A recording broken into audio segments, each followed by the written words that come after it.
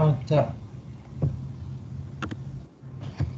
Dạ, ừ, thầy và các anh chị đã nhìn thấy màn hình của em rồi đúng không ạ? đúng rồi Dạ, vâng.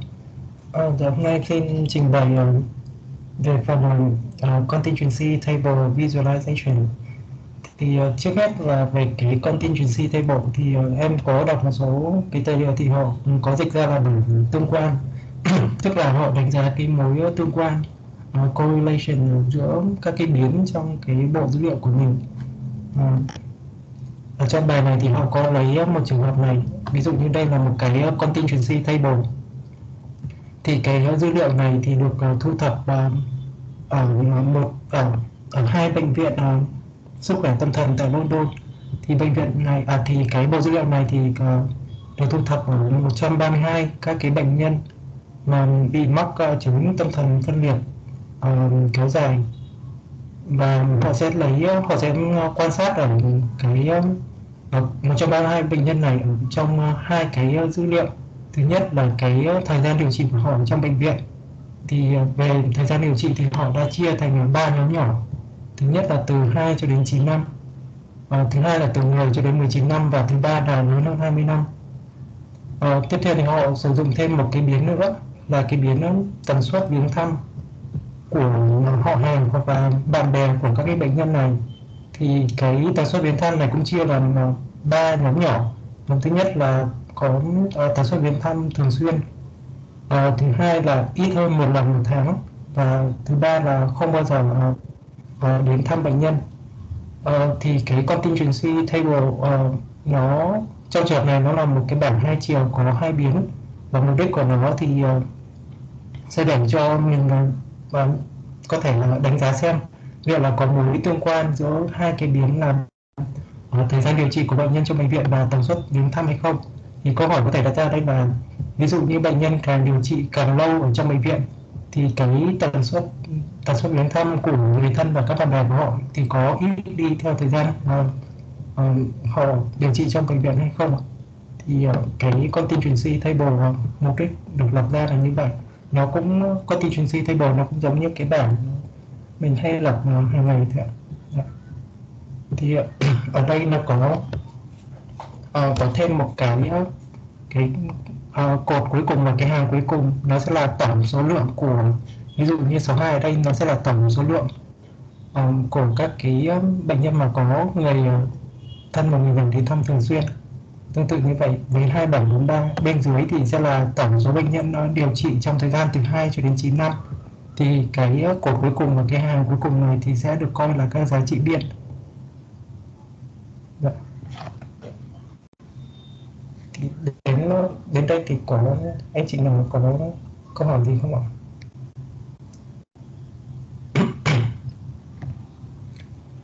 dạ, dạ vâng em xin đi tiếp ạ. À, thì... khoan em à, mấy người không hỏi uh, thì lát uh, không hiểu à. Hỏi đi. À.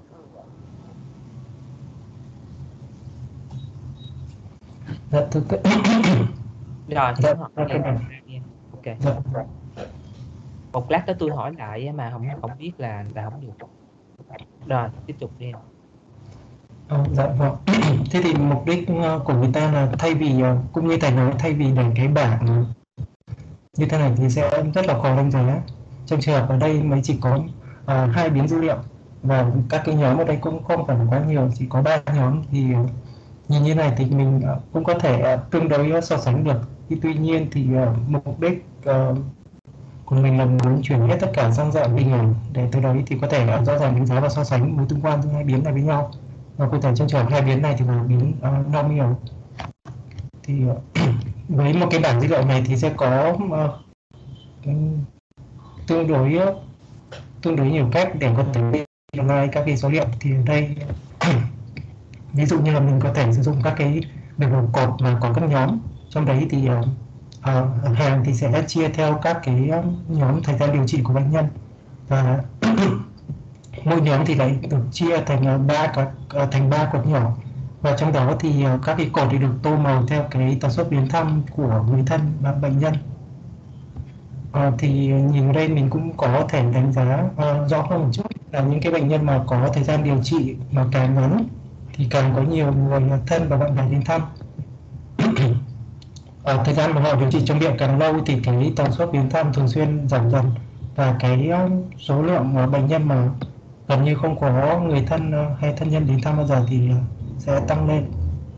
Ờ, một cái biểu đồ khác cũng có thể thực hiện được điều này đấy là biểu đồ ba chart dưới dạng là 3D trong đấy thì cái trục uh, ngang này thì cũng là cái thời gian điều trị của bệnh nhân trong bệnh viện.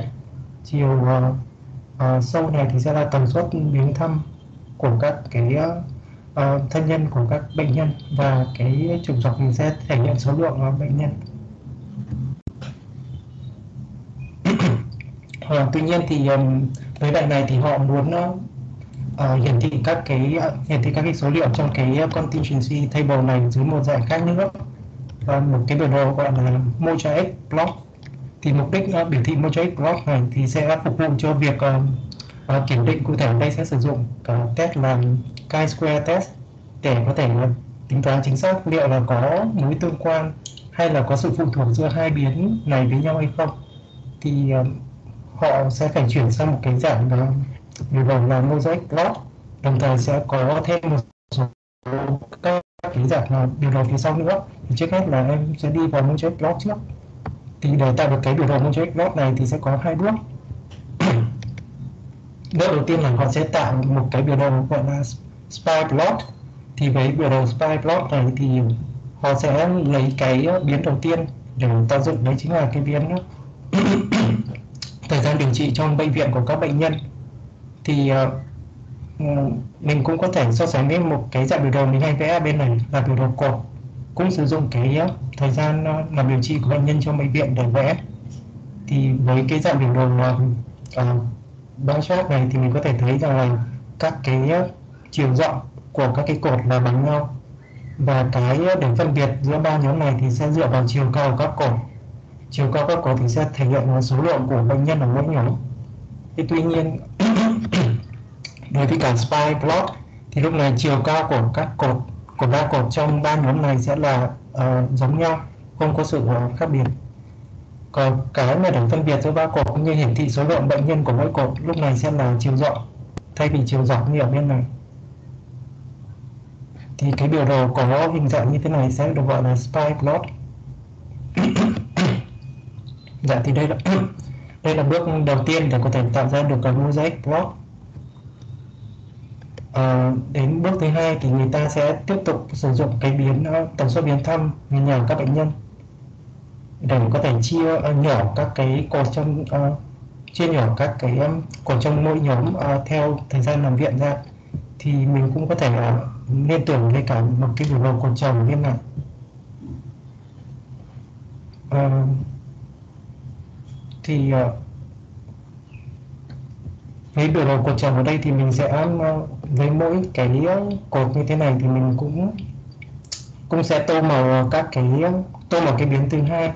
À, sẽ sẽ hiển thị cái biến thứ hai thông qua việc uh, tô màu uh, uh, chia cái uh, ba của mình ra và tô màu theo từng phần của ba chart còn với cả mosaic plot thì ờ, mình sẽ chia nhỏ các cái cột và cái lúc này thì cái số lượng của bệnh nhân thì sẽ được hiển thị thông qua chiều cao và cả chiều rộng của mỗi cái phần ở trong cái mosaic plot này.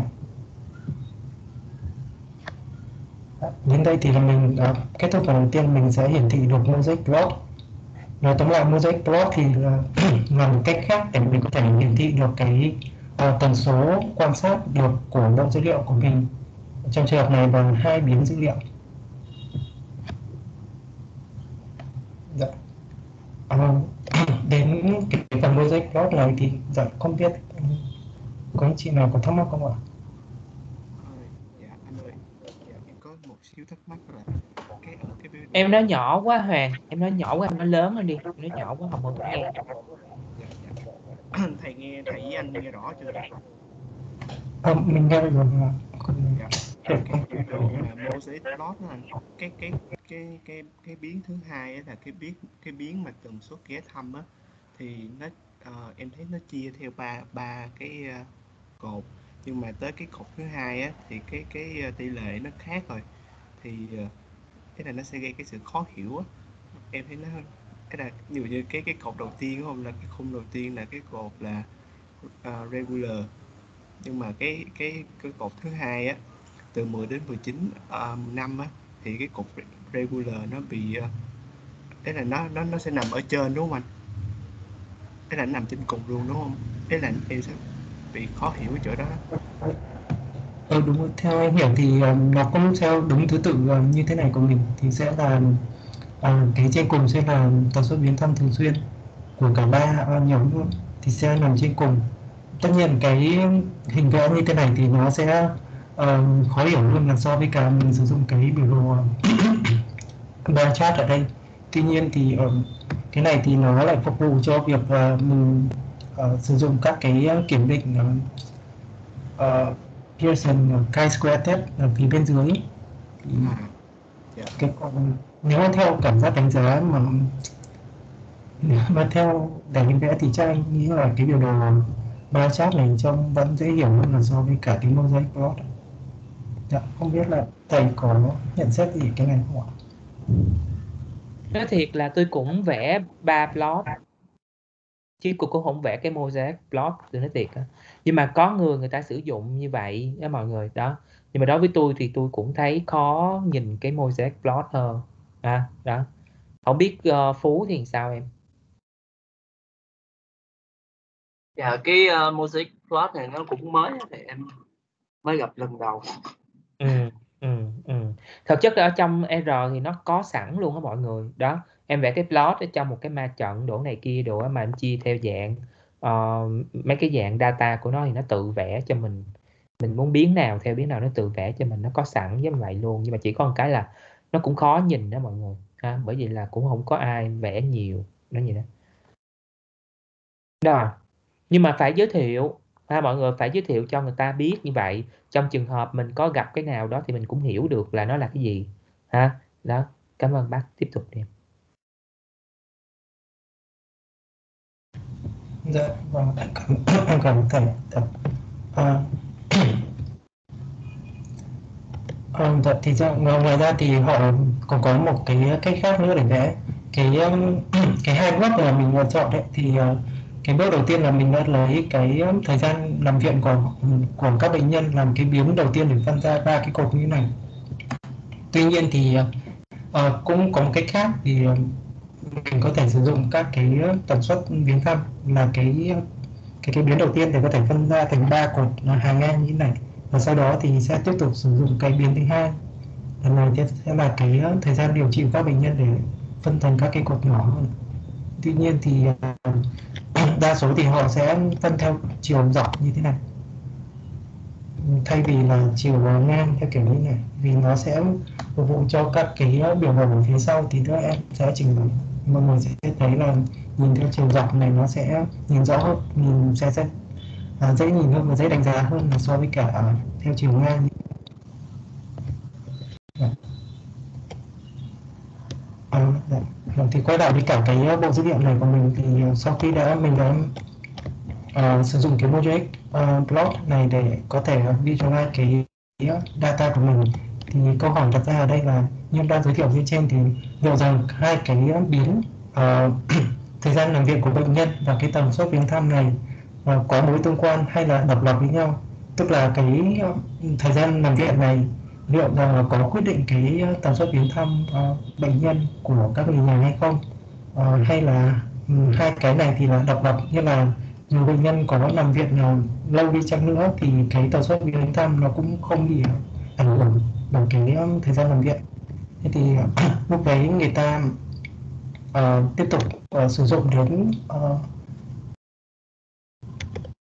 một cái uh, một cái kiểm định. Trong trường hợp này sẽ uh, sử dụng kiểm định là kiểm định ờ, uh, chi-square test hay uh, còn gọi là khi bình phương mà mình uh, hay thường biết.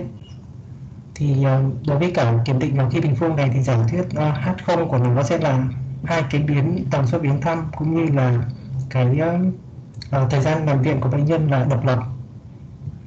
Thì nếu uh, thì quay lại một chút về công thức mà trước thầy còn giới thiệu ví dụ như là biến A ở đây là tần suất viếng thăm ờ, hay là thời gian điều trị của bệnh nhân. Và biến B ở đây thì là uh, tần suất ờ, uh, biến thăm của người nhà. Thì uh, nếu như biến A và biến B này là độc lập với nhau thì cái xác suất uh, để A giao với B thì sẽ bằng là xác suất của uh, riêng A và nhân với cả xác suất của riêng B. Nếu như A và B là, là độc lập với nhau thì đây cũng chính là cái giả thuyết uh, H0 của cái uh, Ờ, của cái bài toán này. Tức là cái ờ, ví dụ tần suất uh, um, tần suất uh, uh, mà bệnh nhân uh, có thời gian điều trị từ 2 cho đến 9 năm và có cái số lượng biến thăm là thường xuyên thì sẽ phải bằng uh, tần suất thì em có ghi ở đây. Ví dụ như cho ô này tức là mình có thể hiểu là tần suất mà bệnh nhân có thời gian điều trị từ 2 cho đến 9 năm và cũng có cái uh, cái cái uh, lượng thăm phiến là thường xuyên thì sẽ phải bằng với xác suất của uh, của của mà hai xác suất của số lượng bệnh nhân xác suất của bệnh nhân nó có thời gian điều trị từ 2 cho đến 9 năm tức là mình sẽ lấy 58 ở bên dưới này em biết hơi bị ngược mình sẽ lấy 58 tức là bằng tổng cái số lượng bệnh nhân ở trong cái nhóm 295 này chia cho tổng số 132 tức là xác suất là 58 trên 132 cái này em viết hơi bị ngược. 58 trên 132 nhân với cả ờ, uh, 62 trên 132 thì 62 trên 132 này tức là 62 đây là tổng của uh, tất cả các bệnh nhân mà có um, số lượng uh, người đến viếng thăm là thường xuyên chia cho tổng số là 132 thì cái nếu như là cái hai cái miếng này là độc lập với nhau thì cái xác suất ở trong ô này thì sẽ phải bằng ô này nhân với cả ô này bằng tính ra được ở đây là bằng 0,2064 và từ đó mình quy đổi ra số người thì sẽ bằng lấy 0,264 nhân với tổng số 132 thì sẽ được bằng 27,24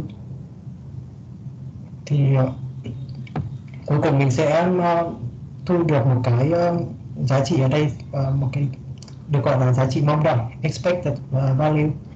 Thì mình có thể tóm tắt là cái công thức của expected value sẽ bằng là cái uh, cái cái um, số cái tổng số ở đây 62 nhân cho 58 chia cho 132 mình không chia thêm 132 nữa bởi vì uh, phía sau mình lại phải nhân với 132 để nó thành ra được cái um, giá trị mong đợi. Thì thay vì đáng nhẽ ở đây là n bình phương và đây sẽ phải là xác suất. Thì khi mà mình tính cái giá trị mong đợi thì mình bỏ luôn cái uh, một cái một lần n nữa là dưới mẫu. Và đây là cái công thức cuối cùng của cái uh, expected value cho mỗi ô. Tương tự như vậy với ô này thì mình sẽ lấy là à, uh, 62 nhân cho 45 chia cho 132 tương tự ở ô này cũng vậy là 62 nhân với cả 29 chia cho 132 à, tương tự với cả các ô còn lại. Dạ thì đấy là cái um, giải quyết hát không của nó. Dạ, đến phần này thì uh, dạ, không biết có anh chị nào hỏi gì không ạ?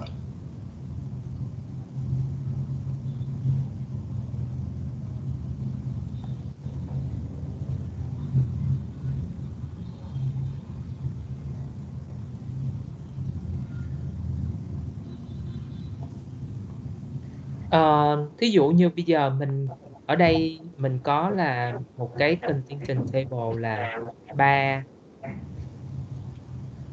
ba ba đúng không em? dạ vâng ạ đây là ba ba dạ Ừ. vâng đúng rồi Như, vậy nếu nếu mà một cái mà ờ, mình thường có thì mình có hai hai thôi đúng không? Ví dụ như là ờ, có hay không đúng không? Cái gì đó thì mình có hai hai thì nó có khác nhau về, về tính toán về mấy cái này không em?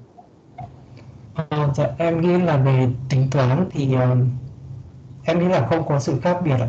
Thì tuy nhiên là có một cái phần là ờ, khi mà mình quyết định sử dụng cái ờ, trong cái này thì em lại không đề cập đến như em nhớ hồi xưa ờ, em có được học ở trường thì ờ, khi mà mình quyết định sử dụng cái chi-square test hay là sử dụng cái Fisher exact test thì ờ, lúc đấy cái nếu mà bảng 22 thì ờ, họ sẽ xem là cái cái tần số mong đợi ở các cái ô ờ, nếu mà nhiều hơn 5 mà ở lớn hơn bằng 25% số ô mà có tần số mong đợi nhỏ hơn 5 thì mình sẽ không được sử dụng ở cái ờ, cái cái khi bình phương nữa mà phải dùng sử dụng sang cái Fisher exact test thế còn đối với cả bảng 3 nhân 3 thì lúc này uh, cái số nó sẽ không phải 25 phần trăm nữa mà sẽ là 33 phần trăm ừ. thì em ừ. chỉ kiểu như vậy Ừ, ừ.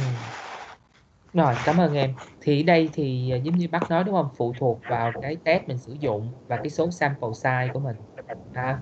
Đó mà mình sử dụng. Tại vì uh, feature test test hay là cái à, uh, keyword test thì nếu mà số sample mình nhỏ thì mình sử dụng nhỏ hơn 5 đúng không? Đó.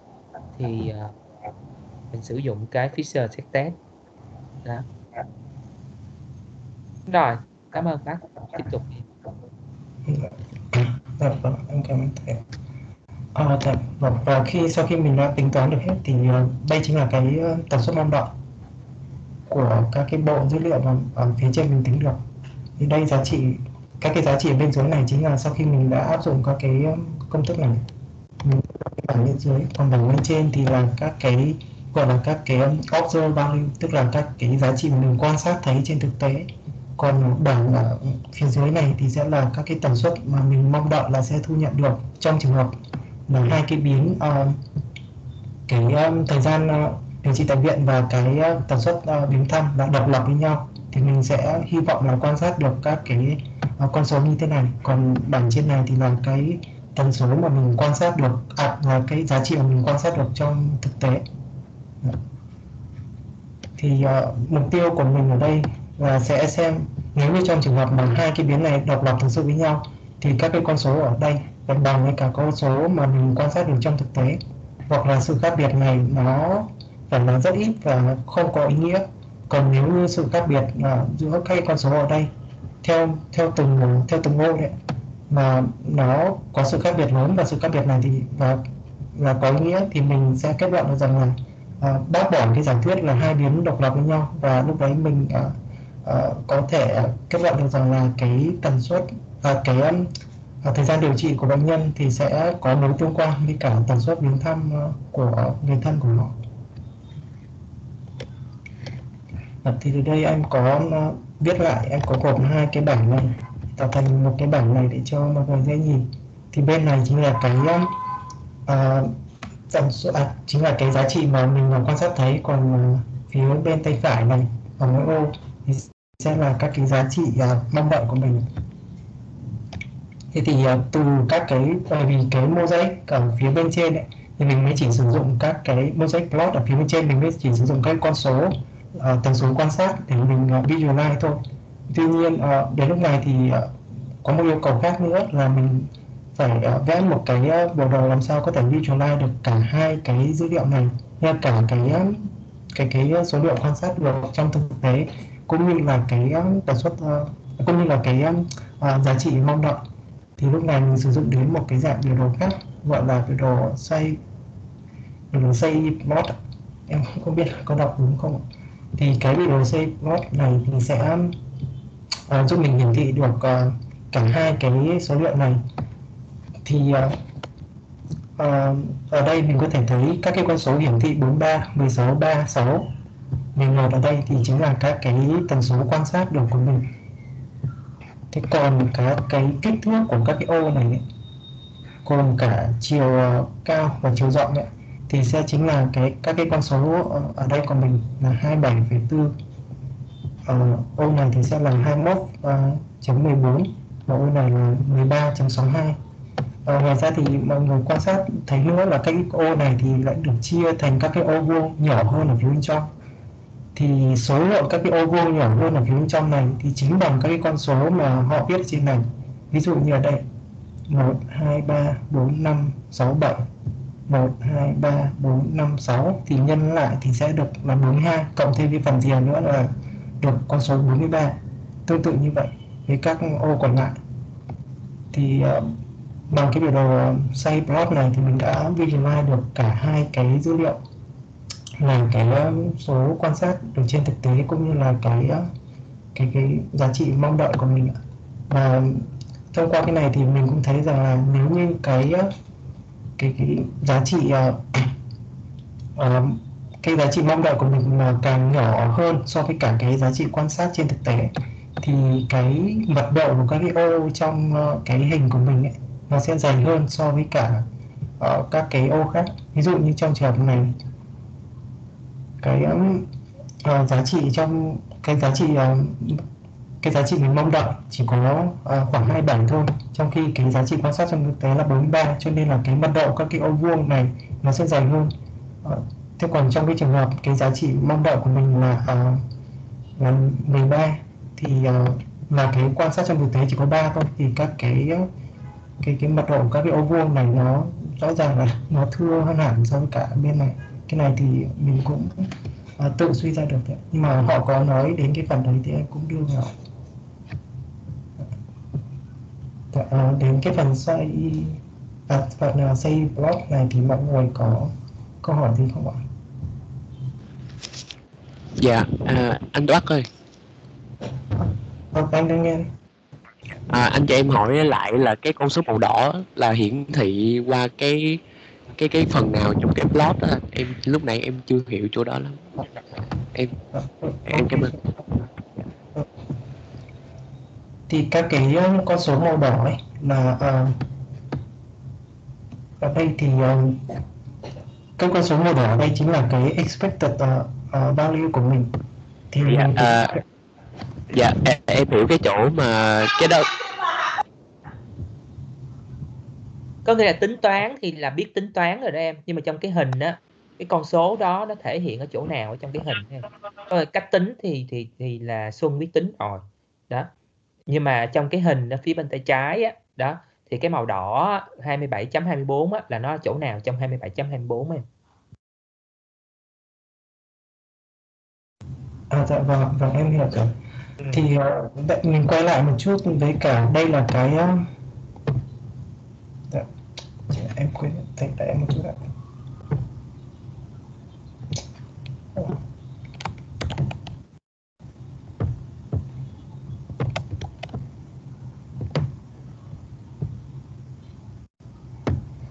Dạ, đây là cái mosaic ờ, plot mà vừa nãy mình đã vẽ rồi ạ thì um, cái các cái chiều các cái kích thước của các cái ô này thì chính là cái cái, cái con số thực tế mà mình quan sát được ấy. ví dụ như cảnh ô này thì hiển thị cho 43 cảnh ô này thì hiển thị cho 6 cảnh ô này hiển thị cho 9 tuy nhiên mình thấy ở đây là lúc này khi mình chuyển sang cái um, biểu đồ uh, xây plot ấy, thì kích thước của các ô đã có sự thay đổi đúng không ạ?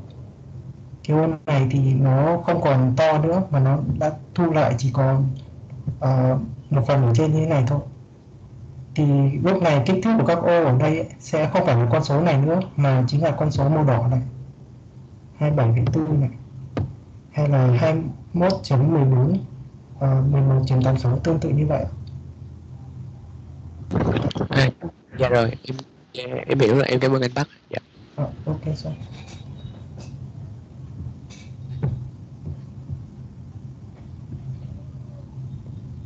Dạ. À, dạ vâng. À, em dạ không biết là có anh chị nào có câu hỏi nào không ạ?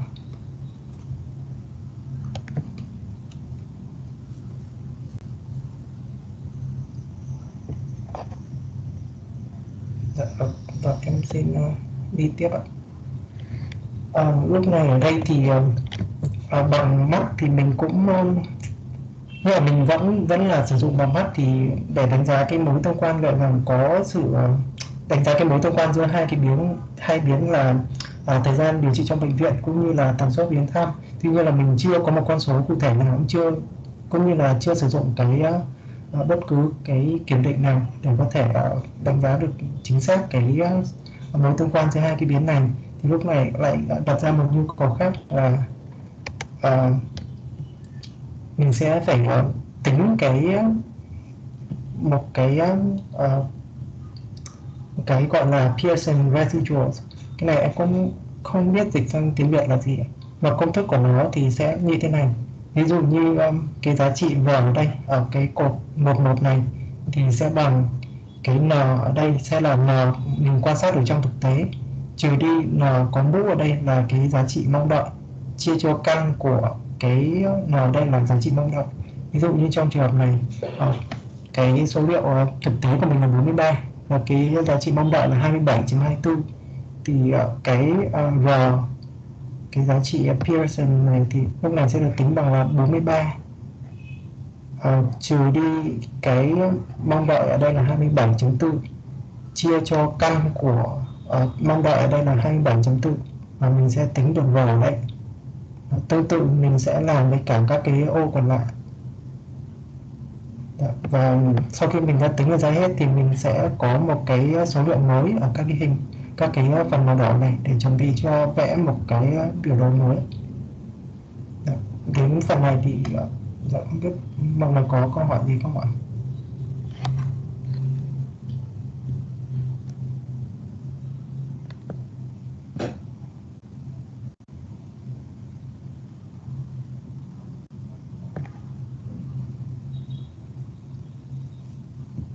Ờ, rồi đi tiếp đi em. Vâng à, thì lúc này um, vâng. Dạ thì lúc này mình sẽ sang một cái biểu đồ thứ ba nữa. Có, có tên gọi là association plot. Thì uh, đối với cả biểu đồ này thì mình sẽ sử dụng uh, cái cái cái error cái giá trị error mình vừa tính toán được ở trên để có thể vẽ. Và cái việc mà cái sẽ có một cái đường baseline mà người nhìn thấy nó sẽ chính là cái nét đứt như thế này và việc cái hình vẽ các cái cell của mình là đi lên hay đi xuống thì sẽ dựa vào cái giá trị này là dương hay là âm. Ví dụ như trong ô này thì mình thấy là 43 sẽ lớn hơn 27.24 cho nên là cái R ở đây chắc chắn sẽ là dương. Mình sẽ vẽ được một cái uh, cái cái cell nó hướng lên trên như này trên đường baseline như này. Thế còn đối với cả cái ô bên cạnh mình thấy 16 trừ 21 chấm 14 thì chắc chắn sẽ có giá trị âm. Cho nên là cái Ờ, uh, cell nó sẽ uh, quay ngược xuống dưới như thế này. Uh, cái các cái chiều cao của các cái cell này thì sẽ được quyết định bởi cái uh, số r ở đây. Thế còn chiều rộng của các cái cell thì sẽ được quyết định bởi cái uh, mẫu số của nó tức là bằng căn của cái uh, mẫu số đấy. Ví dụ như đây căn 27.24 chính là uh, là cái sẽ là cái diameter để sử dụng để vẽ cái chiều rộng của cái uh, các cái cell này chiều cao của nó thì sẽ bằng số r còn chiều rộng của nó thì sẽ bằng căn của cái uh, expected value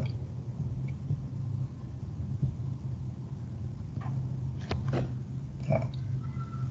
Uh, dạ, đến đây mọi người có câu hỏi gì không ạ?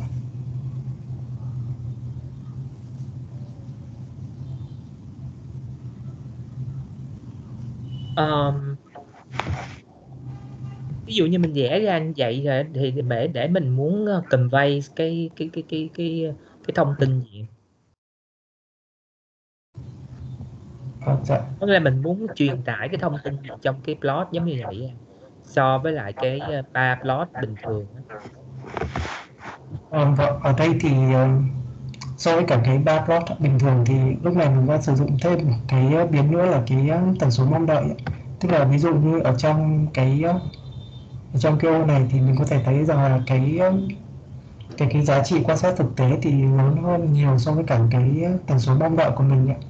Như là mình, cái này nó cũng, em cũng hơi khó diễn đạt nhưng mà mình sẽ hiển thị thêm được cái mối tương quan giữa cái cái, giữa hai cái biến này. Nếu mình chỉ sử dụng ba plot thì mình sẽ chỉ có thể sử dụng được à, một cái dữ liệu, cho là chỉ là cái 43 này, hoặc là cái 27.24 này tuy nhiên khi mà mình vẽ uh, cái association plot này thì mình sẽ sẽ hiển thị cái chủ yếu là cái uh, cái cái hệ số Pearson residual đấy.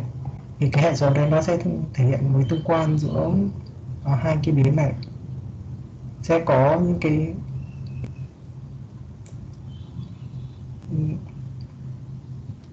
thực ra là cái các cái các cái mình tính được các cái hệ số r ở đây và cuối cùng mình cộng tất cả các cái hệ số r ở cuối cùng lại ở, ở tất cả các ô lại. Cho tổng số 9 ô này thì mình sẽ thu được cái giá trị của ờ, khi bình phương này khi bình phương nó sẽ bằng ờ, uh, r ở đây cộng ở đây cộng đây cộng đến cuối cùng này. Thì uh, em rồi tiếp tục đi em tiếp tục đi. Mai mốt đó mình sẽ có một cái ví dụ để cho mọi người dễ dễ uh, dễ thấy để mình ứng dụng. À, tôi nghĩ là cái plot association plot thì nó cũng thường hay sử dụng á, nhưng mà mình không có vẽ trực tiếp ra giống như vậy á, tụi tôi. Giống như cái um, log font chain đó mọi người. À, giữa một cái uh, phenotype gì đó đúng không? Có knockdown hay không có knockdown. Đó trong cái gene expression đó ở một số cái gene ví dụ vậy đó. Thì thường thì mình chỉ có hai cột thôi đúng không? Một cái đi lên một cái đi xuống đó vậy đó. Thì trong đây mình có tới ba cột lận đúng không? Đó. Có đôi khi là mình có là uh, bệnh nặng bệnh nhẹ đúng không? Và không có bệnh ví dụ như đó. Thì mình cũng thấy được là vẽ ra vậy để thấy được là coi coi nó có association không. Thì cái này nó cũng là một cái plot hay nhưng mà có một cái là nó đòi hỏi người ta phải uh, có kiến thức đó, về về cái cái này thì người ta mới hiểu được. Đó chứ nó cũng không dễ hiểu. Ừ. rồi tiếp tục đi. Dạ, vâng. À, ở đây thì em có tổng kết lại uh, cái mục đích của cả ba cái plot này.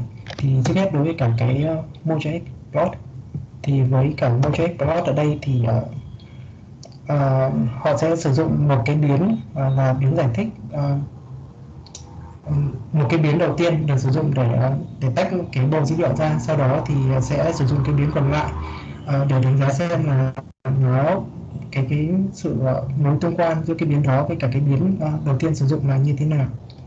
Thì, cái còn đối với cả cái uh, CI plot ở đây thì ngoài việc mình hiển thị các cái uh, các cái giá trị mình quan sát thực tế được thì mình còn uh, hiển thị thêm được các cái giá trị uh, mong đợi của mình.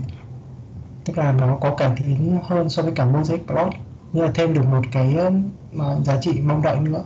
Thì còn đối với cả association plot thì ở đây nó sẽ hiển thị được cái à, cái cái hệ số r ở đây tức là cái hệ số uh, Pearson để tính toán cái mối tương quan giữa hai cái biến uh, hai cái biến trong cái bộ dữ liệu mà mình đang quan tâm.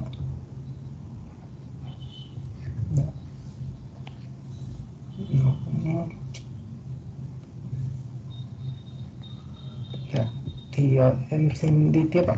À, tiếp theo thì uh, như mình đã thấy thì uh, khi mà vẽ bên trên à, khi mà vẽ bên trên thì mình mới uh, chỉ sử dụng các cái bảng mà chưa có tô màu cho các cái ô này thì uh, lúc này mình sẽ sử dụng thêm một số các cái uh, package khác để mình có thể uh, tô màu cho các cái ô ở trong đây thì uh, việc tô màu ở đây thì sẽ mình sẽ sử dụng thông qua cái uh, Pearson residuals.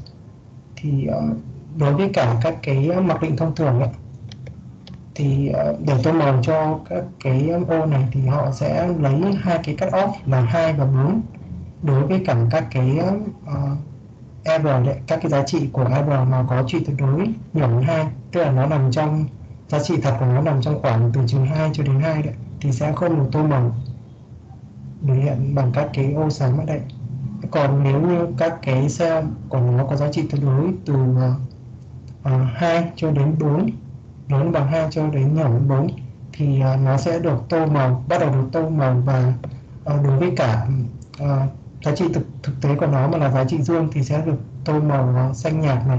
Còn nếu mà giá trị uh, thực tế của nó là giá trị âm thì sẽ được tô màu bằng màu hồng như này còn đối với cả các cái cell mà có uh, cái um, hệ số R này mà lớn hơn hẳn 4 giá trị đó của nó lớn hơn hẳn bằng 4 thì nó sẽ bằng sẽ được tô màu bằng các cái màu đỏ và màu xanh đậm hơn so với cả hai màu này. Thì bằng việc uh, tô màu như này cộng thêm có cái um, có một cái thanh Pearson mà score ở bên cạnh này thì uh, mình sẽ hiển thị cái bộ dữ liệu nó tốt hơn là so với việc uh, mình chỉ biết như vậy nhưng mà không biết con số chính xác uh, R đây là bao nhiêu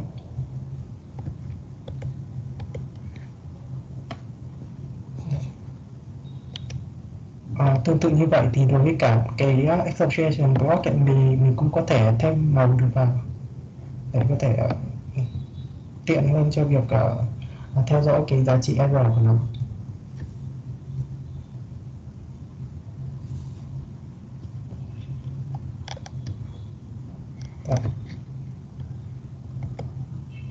Um,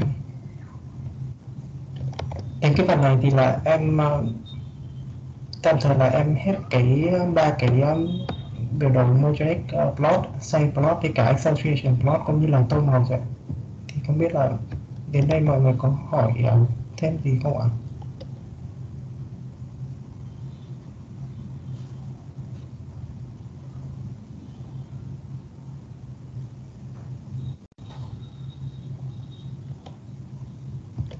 À, vâng, thì em xin uh, đi tiếp cái phần này. Thì uh, người ta đặt ra một câu hỏi ở đây là với trường hợp mà các cái các cái, cái giá trị um, error của nó ấy, mà trong trường hợp các cái giá trị error của nó mà lớn hơn hẳn thực sự lớn hơn cái ngưỡng cutoff mình sử dụng ở đây là hai hoặc là 4 ấy, thì lúc đấy mình mới bắt đầu có thể tô màu được. Thế trong trường hợp các cái giá trị uh, của nó chỉ chạy trong khoảng từ trừ 2 cho đến 2 thôi. Mặc dù cái mặc dù cái cái khi mà mình là sử dụng cái à, test khi bình phương ấy, thì cái p value nó vẫn có ý nghĩa thống kê. Tuy nhiên thì mình lại không có thể uh, tô màu được các ô lên như thế này. Thì uh, ví dụ như trong trường hợp cái bộ số liệu này nếu như mình sử dụng cái uh, mình sử dụng cái cái room cut off bình thường và mình uh, vẽ cái biểu đồ mosaic drop đây là đây. Do cái cái giá trị R của nó thì chỉ chạy trong từ trừ 1.7 cho đến 1.9 và nó chưa nằm trong cái cut off của mình ở đây là bắt đầu từ 2 của 92 cho nên là các ô ở đây của mình nó không được tô màu.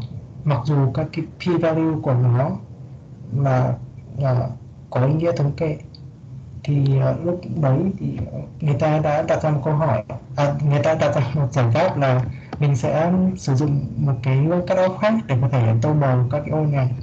Và lúc đấy thì uh, người ta sẽ sử dụng các thay vì là người ta sử dụng tổng của các cái giá trị error thì người ta sẽ ờ, lựa chọn ra cái giá trị tối đa của cái uh, error sau đấy thì họ sẽ chia là uh, họ sẽ sử dụng cái cánh ngưỡng này đồng thời các cái giá trị của nó ở khoảng 10% và 10% để tạo thành các cái điểm cut off mới. Và ờ, khi đó thì ờ, mình visualize lên thì ờ, sẽ được các cái hình vẽ như thế này. Thì lúc này cái ngưỡng cut off mới ở đây mình có thể thấy là nó sẽ là 1.2 và trừ 1.2 cũng như là 1 thế tức là khoảng 1 triệu 6 và trừ 1 triệu 6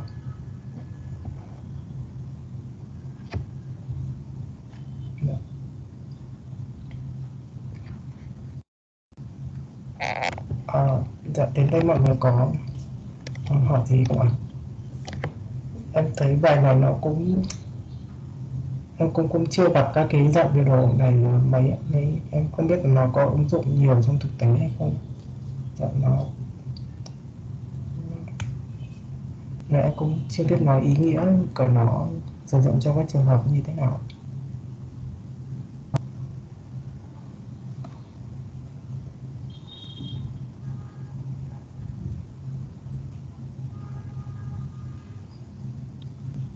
Rồi. Có ai hỏi Dạ. mọi người?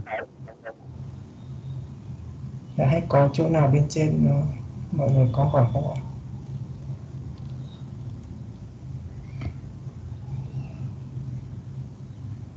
Mai mốt để mình search một cái bài báo á, à, bắt có liên quan tới cái hình này á ha. Rồi xong xuôi cái là mình ờ, đi qua cái data của cái một cái bài ha, để mình làm bài tập thí dụ như ha. Dạ, vâng ạ.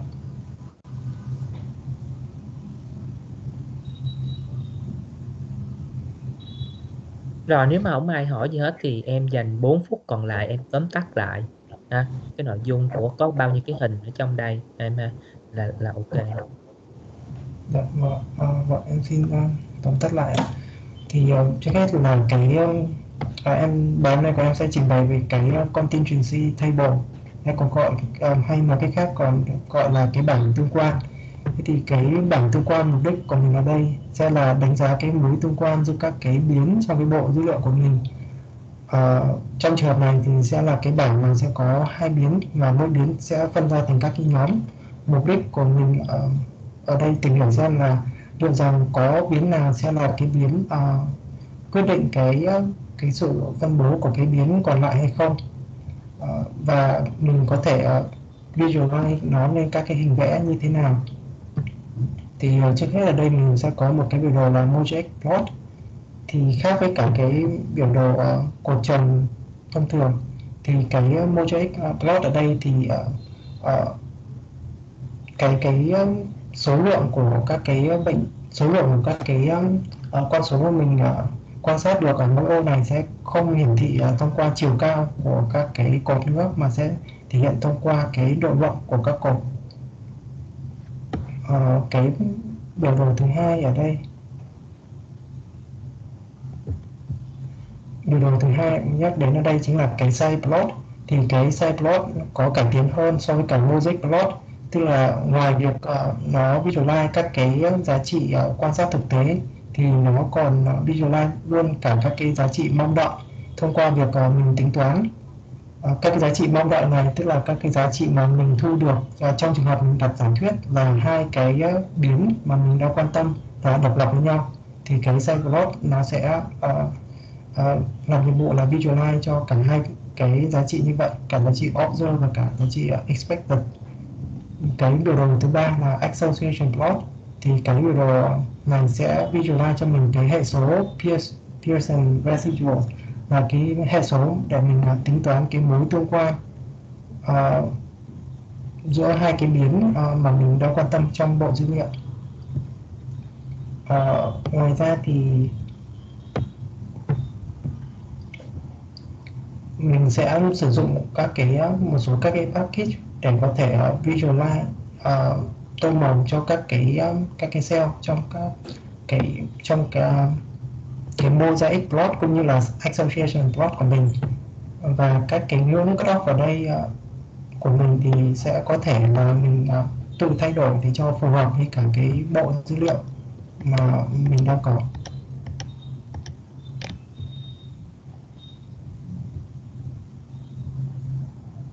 dạ. Ờ, À, cho anh hỏi là Dạ. nhé.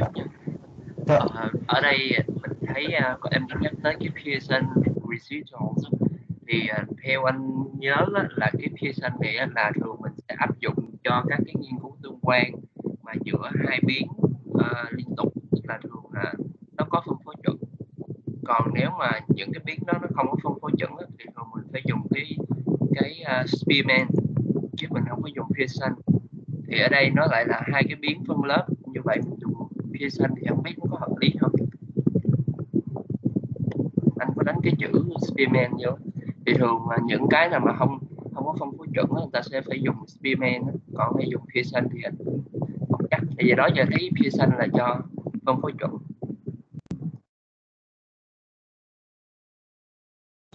Vâng, dạ, vâng ạ. Ờ, anh anh có nói cái Pearson là dùng cho cái dữ liệu ờ, các cái dữ liệu liên tục đúng không ạ? Chứ không phải là các cái dữ liệu mà uh, nominal như thế này đúng không ạ? ừ đúng rồi đó thường anh nhớ là Pearson là chỉ dùng cho biến liên tục mà biến liên tục nó nó phải là phân phối chuẩn nữa thường nó lớn hơn nó, nó cái cỡ mẫu nó trên 30 và ờ vậy đó nên thành ra cái chỗ này anh cũng không rõ không biết có đúng À, dạ vâng. Theo em có tìm hiểu được thì cái um, không biết không biết là có thể uh, hai cái này nó bởi vì thực ra là cái Pearson này thì uh, nếu đúng ra thì sẽ phải là cái um, cái chi-square test. Khi mà mình uh, làm cái chi-square test đấy Để em ví dụ em có làm cái chi-square test ở đây thì uh, họ có để thêm cái Pearson ở đây. Thì ờ, em có xem một cái video của thầy Tuấn thì thầy có nói là mặc dù bây giờ thì hay gọi là cái chi-square test thế nhưng mà nó vẫn để tên thêm cái ờ, Pearson ở đây bởi vì cái ông Pearson này là cái ông uh, phát minh hay là ông đã tạo ra cái cái cái cái công thức của chi-square test này. Thì em không biết là bởi vì hai cái đấy không biết nó có khác nhau hay không. Như của cùng một ông này ờ, ông ấy ờ, nghĩ ra được thì không biết là có phải vậy không ạ? Thì cái- như chắc là của anh là chắc là cái này Dạ. À, dạ vâng. À dạ với cả em quên mất không ờ, ông nói. Với cả ở đây thì em có tìm hiểu được là cũng có một cái bảng Ờ, uh, chi-square để mình có thể uh, mình mình tra được ở đây. Thì cái giá trị trên cùng này tức là cái ngưỡng mà mình uh, lấy thường là mình sẽ lấy ở cái ngưỡng là 0.05 và 0.01 thì cái cột df ở đây của mình sẽ là cái bậc tự do của cái bộ dữ liệu mà mình uh, đang mong muốn. Thì cái bậc tự do này được tính bằng cách là à, bậc tự do của ví dụ như trong trường hợp này bậc tự do của nó sẽ là 4 thế thì nó sẽ tính bằng cách là lấy số cột trừ đi 1 ở đây là 3 trừ đi 1 là 2 nhân với cả số hàng trừ đi 1 ở đây cũng là 3 trừ đi 1 là bằng 2 tức là hai cái này nhân với nhau sẽ được 4 vậy thì cái bậc tự do của nó ở đây bậc tự do của nó ở đây sẽ là 4 thế thì à, mình sẽ tính được một cái con số uh, mình sẽ tính được một cái con số uh, uh, khi bình phương ấy, con số khi bình phương ở đây sẽ bằng tổng của tất cả cái này cộng lại. Tổng của tất cả cái các cái phần màu đỏ em đánh dấu đây cộng lại với nhau thì sẽ được ra một cái con số cuối cùng là khi bình phương. Thì mình sẽ lấy cái giá trị khi bình phương này mình so sánh với cả cái giá trị ở bảng này. Ở đây mình bật tự do là 4 và nếu như mình muốn lấy ờ, 0.05 hoặc là lấy 0.01 nếu như cái con số khi bình phương mình tính được ấy, mà nó lớn hơn các cái giá trị ở đây thì tức là cái test khi bình phương với là uh, có nghĩa và sẽ giúp mình bác bỏ được cái giả thuyết ờ, uh, H0 còn cái tính ra p value thì em cũng chưa tìm hiểu được là họ tính như thế nào. Để ví dụ như là cái em có tính cái bộ dữ liệu này của mình mình tính được khi bình phương, tức là tổng của tất cả các cái um, hệ số R màu đỏ vừa nãy đấy thì mình thu được là 35.171 thì mình so với cả cái cái ô uh, 0.05 ở đây, thì nó chỉ có 9.488 thôi. Hay là cái uh, 0.01 ở đây thì nó chỉ có 13.277 thôi, thì nó đều lớn hơn tức là cái ờ, tag khi bình phương này là, là có ý nghĩa. Cái bậc BF nó cũng ghi luôn cho mình ở đây bằng 4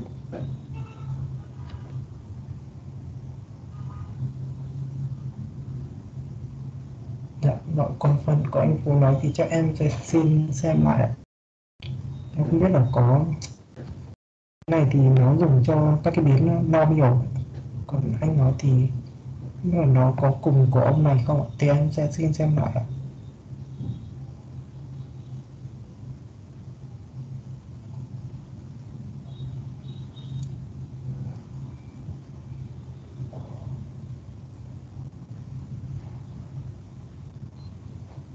Rồi cảm ơn bác. À, có ai uh, hỏi có ai có ý kiến gì nữa không mọi người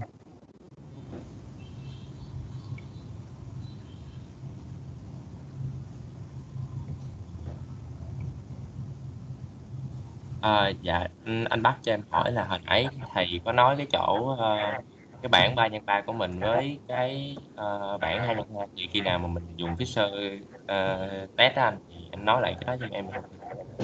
À, ok thì, thì uh,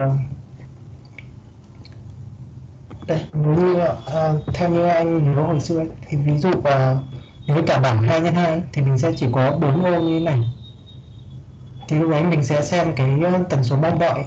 Tần số mong đợi cụ thể à, cái tần số mong đợi cụ thể ở đây sẽ là mỗi ô nó sẽ có tần số mong đợi như này. Thì đối với cả bảng 2 nhân 2 khi mà cái bất cứ một ô nào mà có tần số mong đợi ở đây nhỏ hơn 5 ví dụ như trong trường hợp này nó chỉ là 3.20 chẳng hạn thì lúc đấy mình sẽ không sử dụng được cái uh, Ừ, cái, vị khi bình phương nữa mà mình bắt buộc phải sử dụng sang cái uh, Fisher Extract test. Thế còn đối với cả cái bảng à, ba 3 x 3 tức là lúc này có 9 ô. Thì lúc này phải cần có um, phải cần có uh, em không em không nhớ chính xác là cái này em cũng không nhớ chính xác lắm nghĩa là hình như nó là ba hay là bốn ô ấy mà có cái giá trị à, uh, tần số mong đợi nhỏ hơn năm ấy, thì mình bắt buộc lại phải chuyển sang Fisher Eject đấy. Mình sẽ không được sử dụng cái uh, khi bình phương nữa. Cái này anh cũng chưa xem lại nhưng mà nó sẽ là nó là ba hay là bốn ô. Ờ, đúng rồi đó thường là khi mà mình làm cái mấy cái uh, giữa hai cái biến uh, cái bảng hai chiều như thế này thì thường mình tính ra nó hay báo cho mình là sẽ có bao nhiêu ờ, bao nhiêu cái số ô mà nó có cái um, giá trị mong đợi nhỏ hơn 5 phần trăm thì lúc đó mình phải chuyển qua dùng cái Fisher mình có được dùng cái chi-square À, ờ, hồi xưa mà em có học cái um, SPSS thì à, đúng như anh anh cũng có nói thì ờ, sau khi nó vẽ cho mình cái bảng thì uh, cảm cả ra giá trị nó cũng ghi luôn dòng bên dưới. Nó thống kê là bao nhiêu ô là có giá trị ờ, nhỏ hơn năm. Nó cũng ghi hết ở bên dưới cho mình. Trong R thì em em không biết là nó có cái nào như thế không? Hay là mình phải tự xử lý trước sau đó mình sẽ quyết định là sử dụng cái test nào không thường thấy mấy cái ờ, anh xài ABS data thì thường thấy nó hay có cái ờ, Fisher cho mình luôn á. Vâng vâng anh R anh cũng chưa có chạy thử không biết. À dạ vâng ạ dạ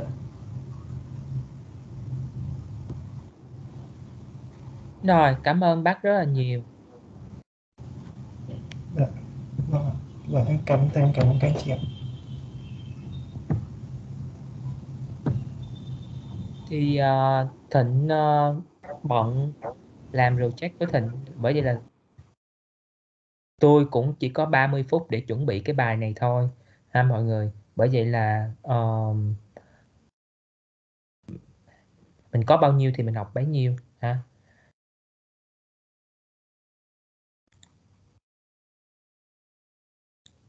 Mọi người thấy slide của tôi chưa mọi người?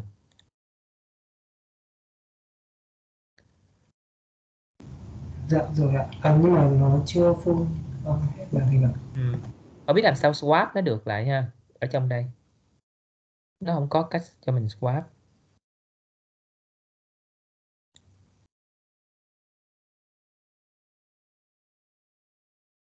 Kỳ cục ha.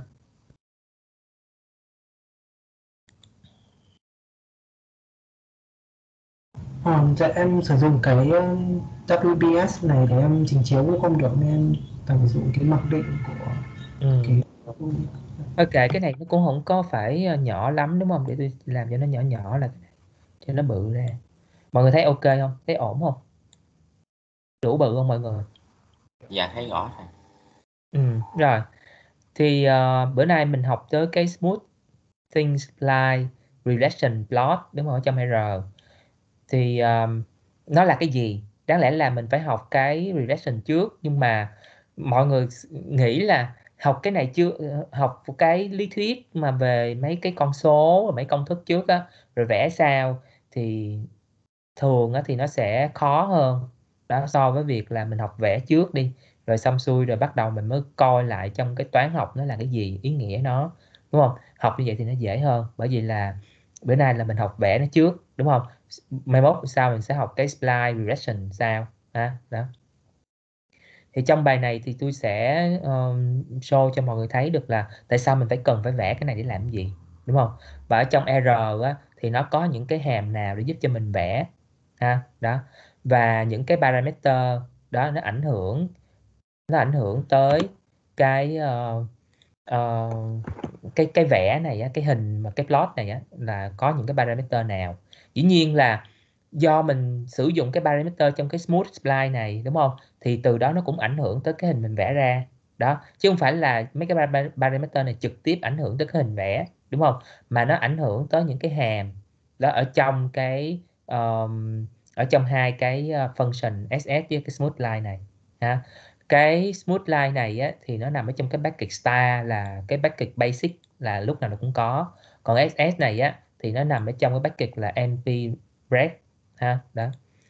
Rồi xong xuôi rồi mình hiểu được mấy parameter rồi đó thì mình mới làm mấy cái bài tập thử ha để cho mình thấy được là uh, đôi khi mình cũng cần nhưng mà hiếm lắm mọi người đó. Tôi cũng ít bao giờ lắm sử dụng cái này lắm tôi nói thật là như vậy. Nhưng mà nó có chứ không phải không có đó. Đôi khi tự nhiên cái mình phải làm đó. Rồi bây giờ ở đây tôi generate ra một cái data có 101 điểm, đúng không? Đó tôi có 101 điểm và nó bắt đầu từ 0 cho tới 1 đúng không? Đó, và chiều dài của cái này là 101 điểm. Xong xuôi tôi chạy một cái hàm sin, ha? Một cái hàm sin ở trên cái giá trị x này. Đó, sin của 2 nhân b nhân cho x, đúng không? Thì tôi ra fx, ha? Xong xuôi rồi á, tôi mới cho cái noise, cái cái noise này á, thì nó có là cái uh, tôi sử dụng cái noise từ cái ờ, normal distribution đúng không? Đó để tôi cộng vào. Đó. Còn nếu mà tôi vẽ x với fx ra thì nó sẽ hình có hình sin rất là đẹp đúng không? Mà cho đo mà mọi người cũng biết rồi data của mình đâu bao giờ mình được một cái hình uh, đâu bao giờ mình được một cái hình đẹp đâu. Đó bởi vì tôi phải cho thêm một cái noise vào đúng không? Cái noise đó đó chính là cái phần tử cộng thêm vào nè. À, đó. Rồi thì nếu mà đây là cái hình mà tôi vẽ nè mọi người. Ở đây là cái hình mà tôi vẽ nè. Đó. Đây là cái kết quả của cái x với lại cái y. Cái y là gì? Là cái hàm sin của mình đó đó từ cái x đó ha. Cộng thêm với lại cái uh, cái cái cái cái norm ha. Đó. Thì mình sẽ ra x là chạy từ 0 đi tới 1 tại vì ở đây của mình x là từ 0 tới 1 nè. Đúng không? 0 đi tới 1 đó. Còn cái y của mình đó là nó là cái hàm uh, sin 2b nhân x đúng không? Đó thì ra fx thì nó sẽ ra những cái điểm y giống như vậy. Đó. Thì thực chất là mọi người cũng biết là cái hàm sin nó sẽ là lên rồi xuống giống như vậy đúng không? Nhưng mà mình không có ra được tại vì sao? Tôi cộng thêm cái noise nữa cái Gaussian noise vào. Ha đó. Cái normal distribution thì người ta còn gọi là Gaussian đó mọi người nhớ nha. Ha tôi cho cái Gaussian noise vào. Đó. Thì tôi vẽ ra cái này như vậy. Xong rồi thì bình thường đúng không? Ở đây nếu mà ai học với lại tôi là đã học vẽ ggplot rồi đúng không? Thì trong ggplot nó có cái function là geom smooth. Đó và cái method của mình là cái linear model LM à, đó. Thì tôi bỏ cái XY này vô trong cái data rồi xong xuôi tôi vẽ lên thì nó ra giống như vậy. Đó. Thì ra giống như vậy thì mình đâu có đâu có đúng với một cái data của mình đâu. Tại vì mình smooth điên nó thành một cái đường thẳng. Đúng không? Thành một cái đường thẳng. Tại vì LM là linear model mà, thì nó ra là kết quả là một cái đường thẳng. Đúng không? Đó, thì đây là không phải cái mình muốn. Cái mà mình muốn á, mình muốn một cái đường, nó sẽ giống như dưới đây nè. Đó, nó đi theo da giống như vậy nè. Đó, bởi vì câu hỏi đặt ra là làm sao mình có thể vẽ được cái đường giống như vậy? Được không? Ở trong đây dĩ nhiên là tôi giả lập một cái data đúng không? Một cái data tôi biết đó, cái hàm của nó fx là gì? Thì dưới đây tôi vẽ lại được, tại vì tôi có được cái line nè, x với fx nè. Đúng không? Thì tôi vẽ ra được. Đó. Còn giờ mình không biết gì hết, thì làm sao mình vẽ ra được cái đường fx này? Đúng không? Đi theo những cái điểm giống như vậy. Đó. Cái đó cái đó, cái bây giờ mọi người thấy được là cái motivation của cái bài này là như vậy. Đúng không? Đó. Có nghĩa là sao? Có nghĩa là mình không còn là một đường thẳng nữa đúng không? Không mình không làm cái linear regression để mình ra một đường thẳng nữa mà nó là một cái đường cong bất kỳ đó có cái hàm bất kỳ nào đó đúng không? Thì làm sao mình có thể giải quyết được cái bài toán này? Được không? Tới đây thấy được cái motivation của uh, uh, của cái bài này chưa?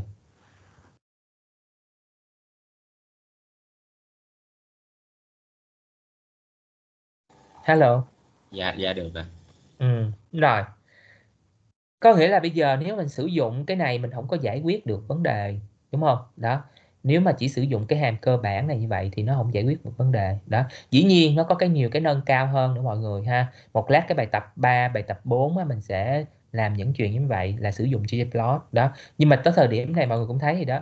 Mình không gplot nó không có giúp cho mình được. Bó tay đúng không đó. Còn cái này sở dĩ mà mình vẽ được á, cái fx á, tại vì ở đây là tôi biết cái fx của nó rồi đó thì tôi mới vẽ được. Đúng không? Cái này là tôi biết rồi. Còn bây giờ giả dụ mình không biết đó có một cái data XY mà mình không biết đó cái mối liên quan quan hàm á, cái hàm ánh xạ của XY mình không biết đó thì bây giờ mình phải làm sao? Đúng không? Ha. Rồi. Thì ở đây người ta có hai cái kịch để làm ha. một cái kịch là cái NB prep này với là cái kịch là smooth line nó có sẵn ở trong cái uh, R bucket star ở trong R ha. bây giờ mọi người chịu khó install giúp tôi ha. Cái ờ, uh, bucket này để copy đưa cho mọi người.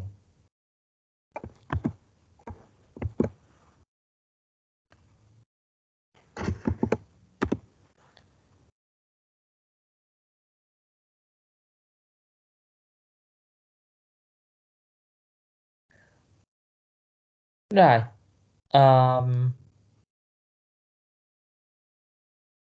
Thiên em install để em xem màn hình cho mọi người đi ha. Tôi cũng copy luôn cái phần code lúc đầu để cho mọi người vẽ để mọi người thử xem. Chứ mọi người mắc công tưởng là tôi uh, ở đây tôi tưởng tượng ra.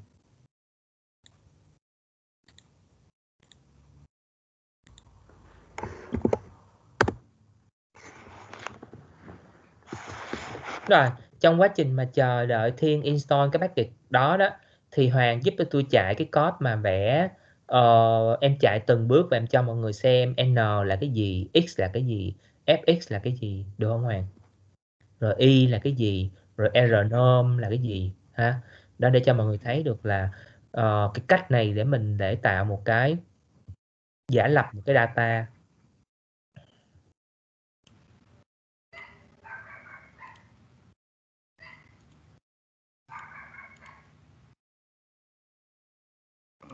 Xem màn hình ừ xe đi dạ. uh, em uh, library cái cc plot ra trước.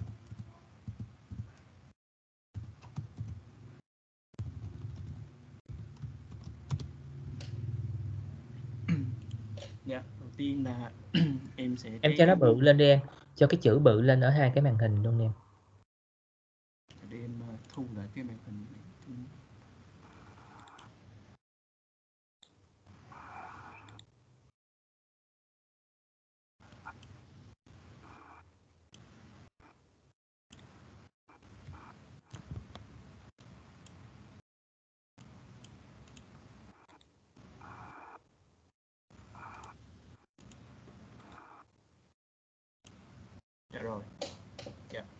à, đầu tiên là trả chạy cái n trước n là n là cái số lượng mà cái phần tử của mình muốn.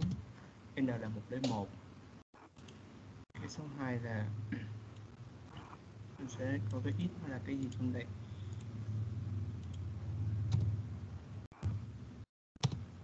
Yeah. cái, dạ, cái này là nó từ 0,00 đến 1 và cái step của nó là 0,01 ờ, đây à, cái thứ hai là cái hàng sin x mà à, theo chạy theo x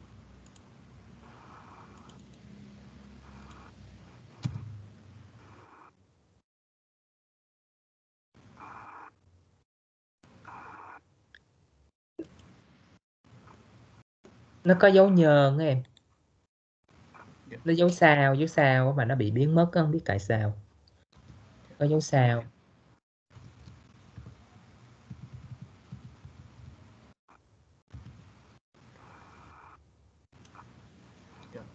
Cái này là fx là sin 2 nhân b nhân cho x rồi cái đây f x là cái này là mình là mình đã có x rồi thì mình đưa vô cái phần sin để mình tính được cái giá trị fx tiếp theo là mình sẽ cộng cái fx này với một con số mà thuộc cái phương khoan, khoan em chạy cái r norm trước bên ngoài để cho mọi người thấy nó là cái gì đi cộng vào sau yeah. rồi r norm. Rồi. Thì cái cái này là uh, n norm là có sd là 0,5 và cái n nó sẽ bằng với cái số phần tử của mình là 101 yeah. thì đây là cái uh, 101 cái giá trị và theo phương phối chuẩn có SD là 0,5 yeah. Dạ. thì bây giờ mình sẽ cộng những cái con số này với từng à, à, con số này với con số ở trên. Có nên mình tạo cái noise đúng không? Mình cộng nó vào. Đó để cho nó trên lệch trên lệch lên xuống lên xuống xung quanh cái điểm mà mình muốn. Ha yeah. thì cái y của mình bây giờ nó sẽ là bằng cái x cộng cho cái ờ, cái n cái n nom này. Cái y của mình đây rồi. Đây thế này cái 100 lấy một cái giá trị của mình. Thì bây giờ mình sẽ vẽ cái ờ, tạo một cái data frame ờ, với x là cái giá trị x còn cái y cái là cái giá trị x ờ, của mình là từ 0 cho đến 1 mà step là 0,01 còn giá trị y của mình đó là sẽ bằng là cái fx này cộng cho cái uh, rnom thì mình tạo một cái data frame có hai cột rồi hit cái dt rồi thì mình sẽ có hai cột như vậy. Tiếp theo là mình sẽ dùng ggplot mình sẽ vẽ biểu đồ uh, ờ, cinnamon point cộng với một cái đường smooth với cái ờ, uh, linear cái đường thẳng linear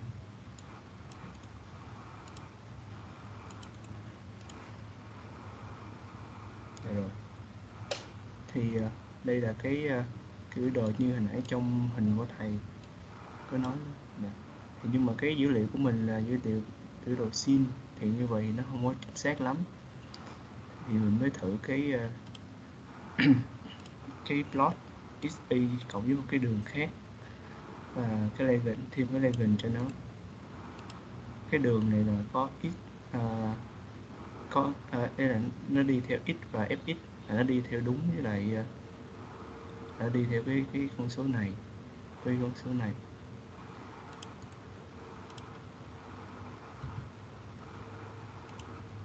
Đây rồi. Đây, đây chính là cái đường uh, của mình. Nó đi theo cái dữ liệu của mình. Rồi cái dữ liệu này cái đường này nó đi theo cái ờ, uh, fx có nghĩa là nó đi theo cái biểu đồ sin chứ nó không có đi theo cái y là cái mình đã cộng cho cái uh, cái noise rồi. Yeah rồi cảm ơn Hoàng rất là nhiều. Rồi bây giờ tới Thiên em em uh, em em chạy cái phần uh, uh, so sánh đúng không? Có hai cái bucket để mình có thể làm cái uh, uh, regression cho cái uh, một cái hàm uh, một cái hàm bất kỳ một cái hàm công lượng gì đó đúng không? Đó không phải là một cái hàm đường thẳng đó gì đó. Thì uh, em chạy từng dòng từng dòng đi em hả? Để em nói với minh Hoàng hồi nãy nói vậy cảm ơn em bắt đầu đi. Dạ thì à, phần trên thì mình đã có được x à, là cái giá trị à, độc lập biến độc lập và y là giá trị phụ thuộc.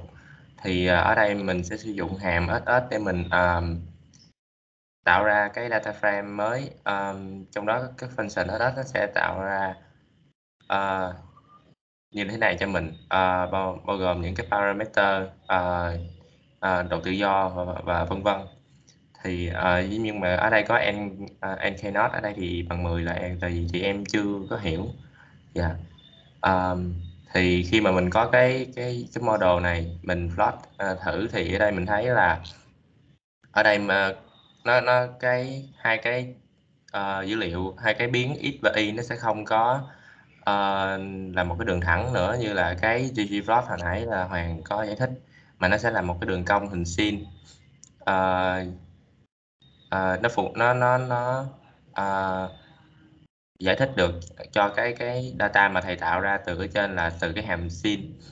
Dạ. Dạ còn ở dưới này thì uh, thay vì sử dụng hàm ss thì mình sử dụng hàm smooth spy. Uh, thì cũng tương tự như cái hàm ss uh, cũng là nknot bằng 10 thì mình sẽ có được cái um, một cái model cũng À, cung cấp cho mình những cái smoothie parameter như ở trên. À, ở đây mình thấy là hai cái spa này à, nó bằng nó gần như bằng nhau. À, cái spa này là gì thì em cũng ừ, chưa rõ lắm. Và còn cái lambda thì nó nó, nó cũng tương đối bằng nhau. À, dạ. Rồi nó cũng cung cấp cho mình những cái à, à, độ tự do vân vân. Dạ khi mà mình plot cái cái um, cái model từ cái smooth à, uh, spline này thì mình cũng có được cái đường cong hình sin uh, à, thay vì là hình một cái đường thẳng giống uh, như uh, cái ggplot thì ở đây mình mình thấy là thay vì là một cái đường đó, thì nó sẽ là tập hợp của những cái điểm. Và em nghĩ ở đây là những cái điểm này là nó uh, thể hiện cho từng cái điểm của từng cái điểm của cái cái data của mình luôn. Dạ. À, em thấy cái um, ít thì nó sẽ có hay hơn là mình nó nó cho mình luôn cái uh, uh, thay từ một cái đường và một cái, một cái đường hình sin vào cái standard deviation uh, standard error uh, xung quanh cái đường đó luôn dạ yeah.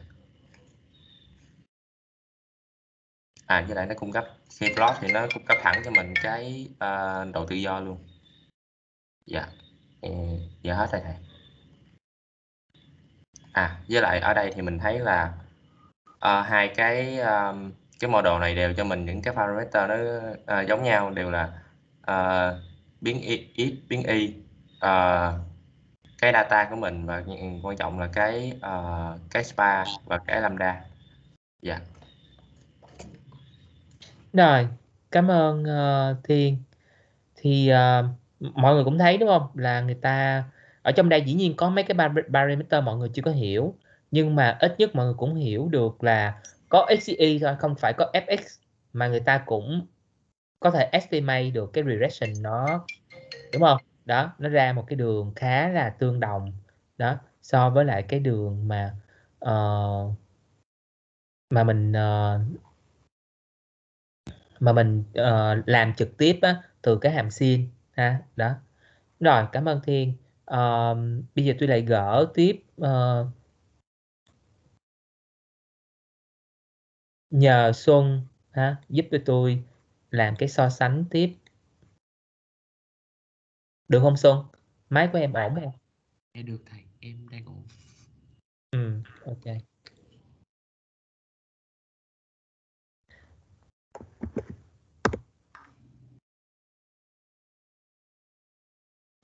Thì mọi người cũng biết rồi đúng không? Mình estimate cái regression đó thì mình không có cái AUC đúng không?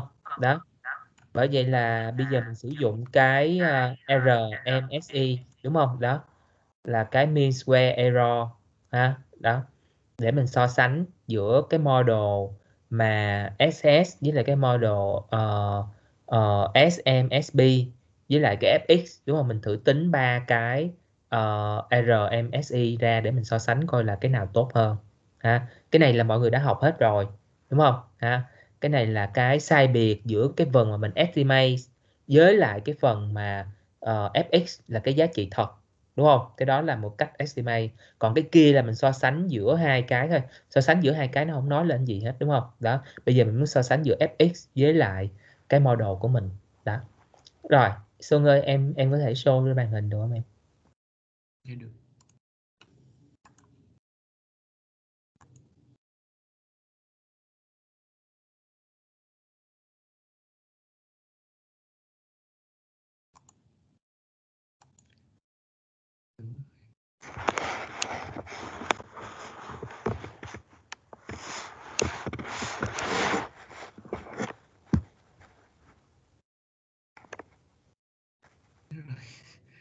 Em bị mất cái nút share à em mới install lại cái máy đúng không?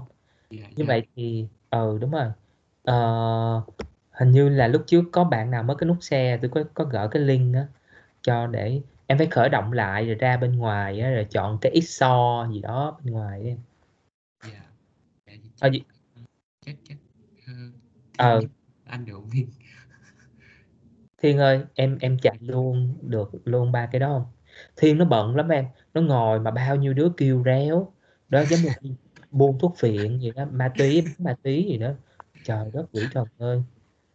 Em đang làm vợ làm giúp anh với nha để ờ, xong Dạ. anh xài lại cảm ơn thiên nhiều. Dạ. Rồi.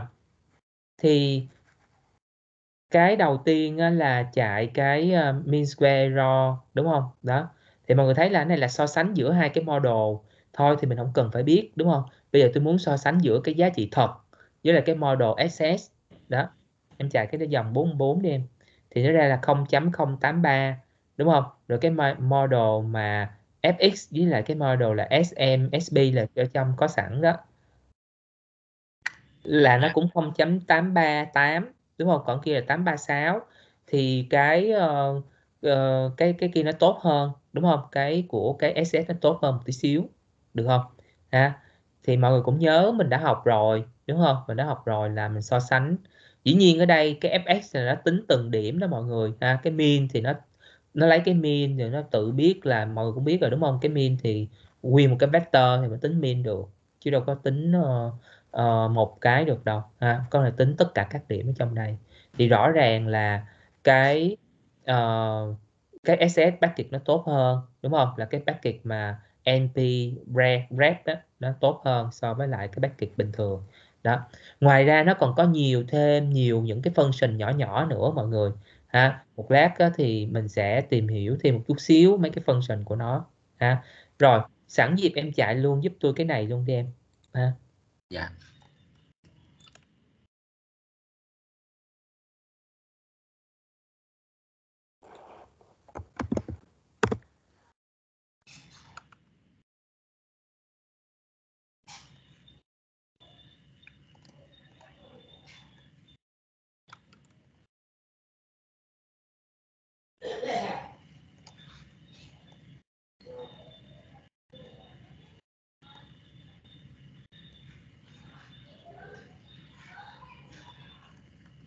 Rồi. Mọi người thấy được là cái model này mình estimate đúng không? Bằng hai cái uh, phương pháp khác nhau. Đó nhưng mà ra kết quả rất giống nhau. Nó nó overlap với nhau luôn mọi người thấy không? Giữa cái SS với cái smooth spline đó nó hơi khác nhau một số chút xíu thôi mà ở đây mình nhìn cũng không thấy rõ nữa, đúng không? Đó. Hồi nãy mọi người thấy không? Cái khác nhau của nó là 0.003 đó, bởi vậy là hầu như tụi nó overlap với nhau hết. Đó.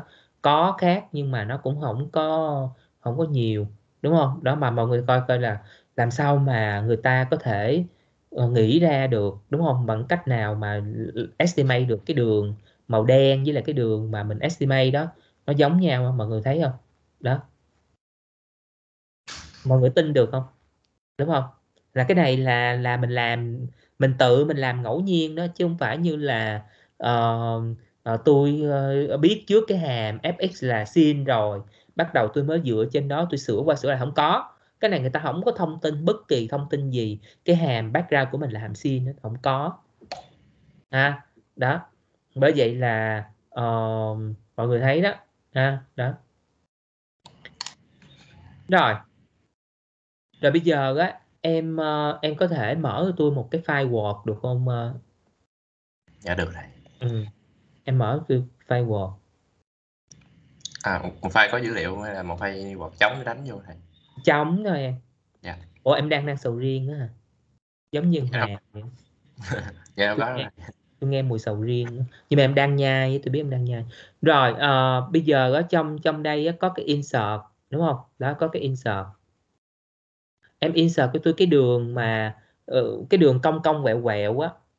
Em em có thể insert được một cái hình có cái uh, không không không phải không phải cái chart này. Nó là một cái dạng đường thẳng á. Mấy cái um... ủa nằm ở đâu ta? Cái phần shape đúng rồi đúng rồi đúng rồi. Rồi đúng rồi em chấm một cái. Em em mở bự quá. À, em làm nhỏ là em chọn giống cái này nhưng mà em làm.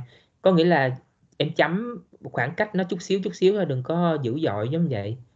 Em làm lại đi em. Đúng rồi. Dạ em vẽ theo cái hình xin luôn ha thầy. Rồi em chấm một cái. Chấm một cái đi chấm một cái. Rồi kéo xuống kéo xuống kéo xuống. Rồi chấm một cái nữa rồi kéo lên chấm cái nữa cứ mỗi lần ờ đúng rồi kéo lên chấm cái đó rồi kéo xuống rồi chấm cái rồi kéo lên chấm cái là cái nốt của em đó hồi nãy em hỏi cái n bằng 10 nó là gì là cái nốt nó cứ em cứ mỗi lần chấm cái chấm cái chấm cái là nó thay đổi cái direction của nó được không hồi nãy em hỏi cái nốt nó là gì đó n nốt bằng 10 đó ha yeah. Dạ. nghĩa là em chấm cái em chấm cái em chấm cái em chấm cái đó thì cái đó thì uh, mình để nó vô trong đó thì trong trong đó mình nói là nó có khả năng là nhiều nó sẽ tự optimize nó tìm cho mình cái nào là tốt được không? Vậy em hiểu cái cái n not là gì chưa? Được dạ, chưa? dạ, rồi. Rồi.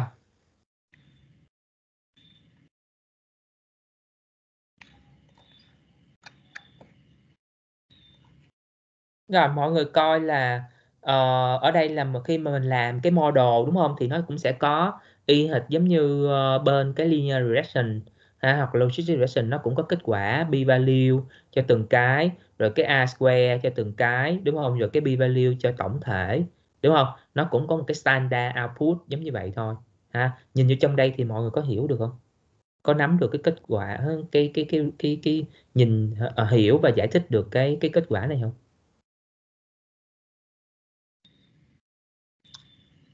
Dạ dạ nhìn vô đây thì mình sẽ thấy được uh, mình có cái uh, cái này là cái ờ, uh, x của mình uh, cái cái hệ số của cái cái biến độc lập của mình. Còn cái này là cái uh, um, cái cái c tức là mình sẽ có y bằng uh, trừ 0.31243 x cộng với 0.05191 ừ, nhưng mà nó không phải là nó không phải là hàm y bằng ax nữa, đúng không? Đó, mình biết được là cái biến coefficient của nó, đó, cái a của nó là trừ 03 0.31243 ờ, nhưng mà cái x ở trong trọng nó không phải là x, nó có thể là x bình phương, có thể x mũ 3 hay là sao đó, đúng không? Đó, thì ở dưới mọi người thấy được là cái df đồ á, của cái của cái hàm s của x đó đó ở dưới đem em cái residual đó. Đó cái fx đó nó cái cái df của x đó nó bằng 4.43 đó. Ví dụ vậy đó. Thì cái đó là nó nói lên là cái uh, uh, cái cái cái cái degree á đó ha cái hàm của mình á. Đó nó sẽ như thế nào ha. Đó ở trong đây thì mọi người sẽ khó lòng mà hiểu được là cái degree cái hàm nó như thế nào. Để mà mình vô trong học cái bài kia thì mình sẽ biết được cái degree cái hàm của mình sao ha. Rồi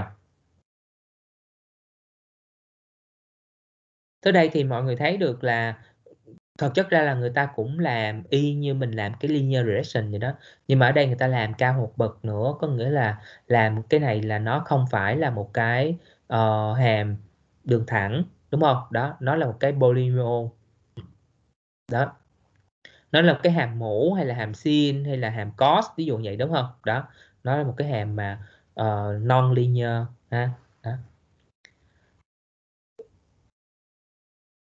Rồi. Cảm ơn thiên. Ha, tôi lại tiếp tục.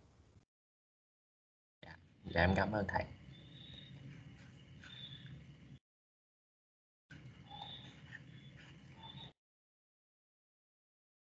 Thì mọi người cũng thấy là sau khi mà mình vẽ được đúng không? Một cái hình thì rốt cuộc rồi thì mình cũng muốn cái hàm này đúng không? Đó. Thì cái này là trong cái package uh, np red đó ha thì những cái parameter nào nó sẽ ảnh hưởng à, nó sẽ ảnh hưởng tới cái cái cái hình của mình hoặc là ảnh hưởng tới cái ờ, uh, regression cái non linear regression đó của mình đúng không? Nó chính là cái lambda à, cái lambda này á thì nó chính là cái mà lăng răng multiplier đó mọi người à, khi mà mình penalty nó đó đó thì khi mà mình penalty nó mà nó có cái không có influence gì hết trong cái list square đó đúng không? Đó thì cái này nó nhỏ thì nó sẽ không có. Đúng không? Mình đã học rồi. Đó nếu mà cái lambda nhân trong cái hàm gì đó mà cái lambda nó bé xíu rồi nó chẳng hạn như là nó gần giống như không luôn thì nó không có ảnh hưởng gì hết. Cái hàm chính nó phía trước là nó có ảnh hưởng chứ còn cái phần phía sau không có ảnh hưởng gì hết. Đúng không? Còn nếu mà bây giờ á, mình cho cái lambda này ra vô cực á, thì cái hàm hai cái phần đúng không? Cái phần mà lăn răng á, multiply vô á thì nó dominant lên nó ảnh hưởng lên. Còn cái phần phía trước không ảnh hưởng gì hết. Ha đó bởi vậy là bởi vậy là rất cái cái cái làm là lớn á thì estimate của fx này á nó cần trend vô trong cái uh, cái cái cái fx mà phần phía trước á nó có zero. Ha, nó không có gì hết. Ha đó. Tại vì nó lớn quá rồi thì bây giờ mình minimize cái mà lớn quá như vậy thì sao? Thì cái đó nó triệt tiêu nó không còn gì hết. Đúng không? Đó. Thì ở trong đây cái hàm của mình á mình muốn move nó mà trong cái này á thì mình sẽ tìm cái lambda này đó làm sao mà có cái degree á nó nó đúng. Đúng không? Nếu mình move dữ quá có người mình làm cho nó trơn quá ví dụ như nó trơn thì là trơn luôn thì nó thành đường thẳng luôn rồi. Đúng không? Còn nếu mà nó cong cong quẹo quẹo giống hồi nãy uh, thiên làm á có nhiều nốt quá đúng không? Nó cứ tới đây nó nó cứ cong cong quẹo quẹo cong cong quẹo quẹo lên thì lúc đó nó overfitting rồi. Đúng không? Đó nó ra cái đường á hả là rất là không ok ha? Đó một lát mình sẽ thấy được chuyện đó bằng cách là mình làm cái ví dụ. Thì cái lambda này nè đó chính là cái nhân tố nó sẽ ảnh hưởng tới cái cái cái cái cái sự mà uh, cong cong quẹo quẹo của cái đường của mình ha? Bây giờ mọi người có thể uh, có ai giúp cho tôi vẽ ba cái hình này nè? Đó để bắt đầu mình có thể uh, bàn luận được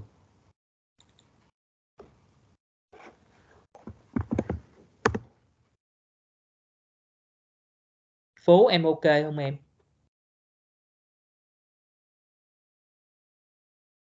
Em Nếu em không ok thì tôi nhờ trường, sao em?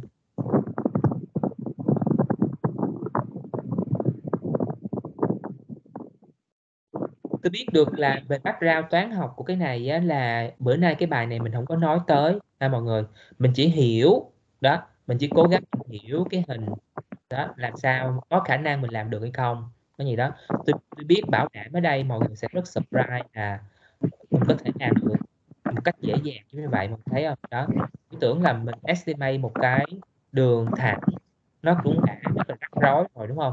Mà bây giờ mình có thể sử dụng một cái đường cong mình estimate được một cái đường cong luôn đúng không? Đó.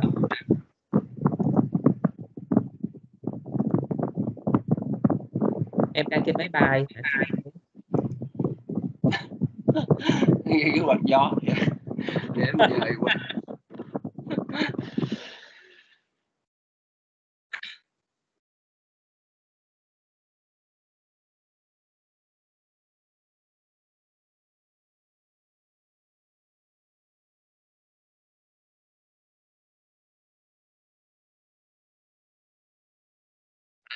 em vẽ được cái hình thứ nhất là smooth spline rồi giờ tới cái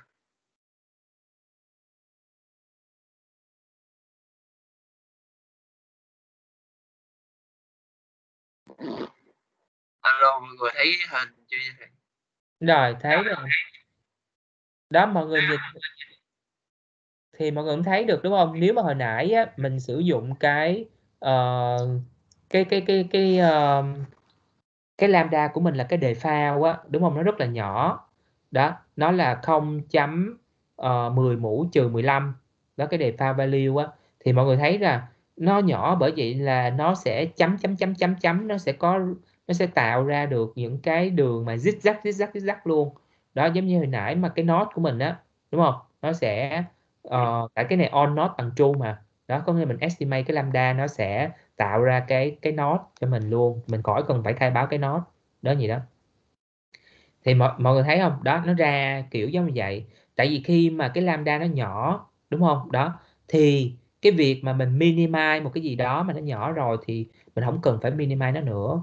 Đó đúng không? Đó. Còn nếu mà cái lambda đó mà lớn thì khi mà mình minimize cái function đó, cái object function trong cái lăng răng multiplier đó, đó thì mình sẽ minimize vô cái chỗ đó biến cho nó bằng không luôn ha. Tại vì nó lớn nó gì đó. Thì mọi người thấy rõ ràng là cái đầu tiên là cái lambda nó rất rất là bé đúng không? Đó xong xuôi rồi á cái thứ hai á là cái lambda là uh, mình lấy cái giá trị của nó um, lấy cái giá trị đề phao ở trong trọng tôi không nhớ cái giá trị đề phao là bao nhiêu mà người ta tự select nó ha, cái đề phao nó. Rồi xong xuôi cái cuối cùng á, là cái lambda mình lấy nó 100 đó thì mọi người thấy là cái lambda nó 100 thì nó thành cái đường thẳng luôn. Ha đó được chưa? Ok chưa? Tới đây.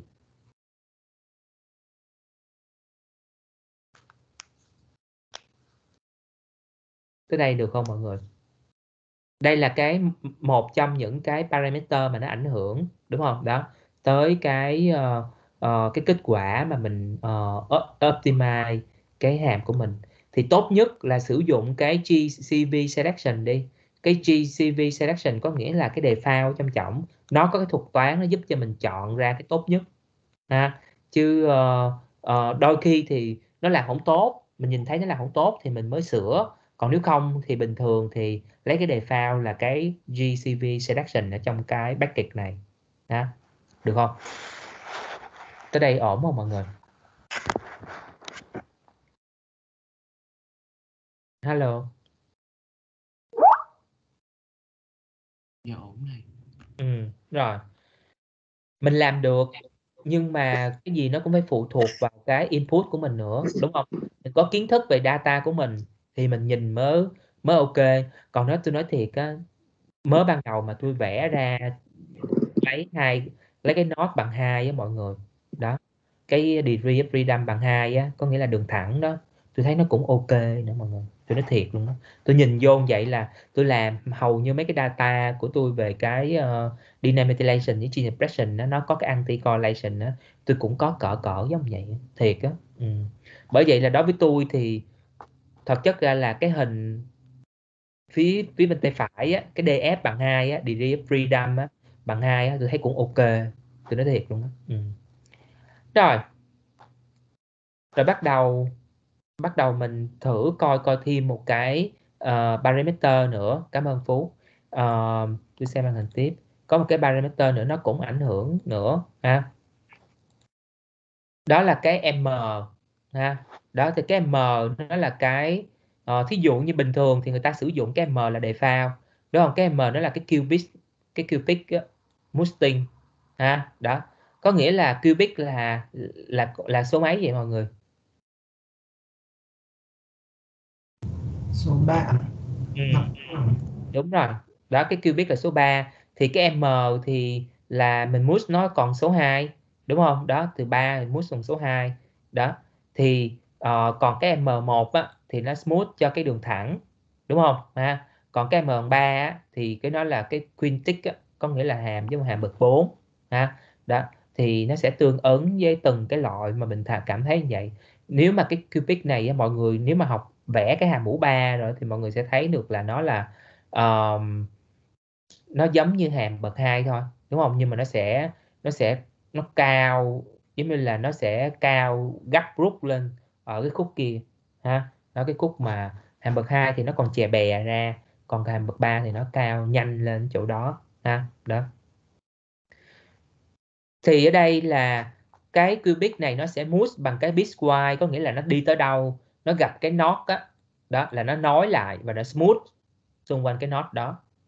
À, mọi người hình dung không? Có mình chấm chấm chấm rồi xong xuôi khi mà mình tới cái đường thẳng của mình tới cái chấm đó thì nó tự biết cong lại. Đó nó cong lại xong xuôi bắt đầu nó nối tiếp cái đường kia nữa rồi nó cong lại. Đó mỗi lần có cái nốt thì nó tự nhiên nó sẽ biết cong lại ngay chỗ đó. Được không? Đó là cái cái cái cái này. Thì cái m bằng 2 m bằng 1 m bằng 3 nó đều ảnh hưởng tới ha đó nhưng mà đề thường thì người ta lấy m bằng 2 nó tự nhiên. Cái cách nói của nó tự nhiên lắm mọi người. Ha cái đường nói nó tự nhiên. Đó. Rồi thì bây giờ uh, nói thì khó hiểu đúng không? Để cho một mọi người thử vẽ. Trường em em làm ok không trường? Dạ được. Ừ.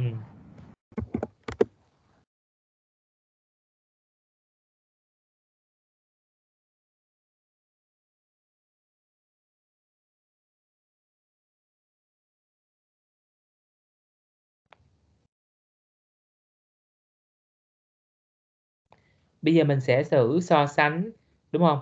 Mình sử dụng m bằng 10 ở oh, n not bằng 10 hết đúng không? Đó.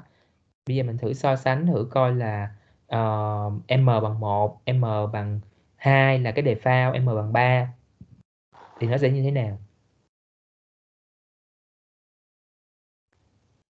Rồi mọi người thấy là khi mà cái m bằng 1 á đó, đó thì nó không có smooth đâu nó, giống như là tới cái điểm mà nó cần có cái gradient á, đúng không? Đó, có nghĩa là tới điểm cực tiểu hoặc là đến, tới điểm cực đại á, nó nó thẳng đó mọi người, nó thay đổi một cách, nếu mà đột ngột á, cùi chỏ lắm, đó, chứ không phải là cái dạng mà nó cong như là cái hình chính giữa, ha.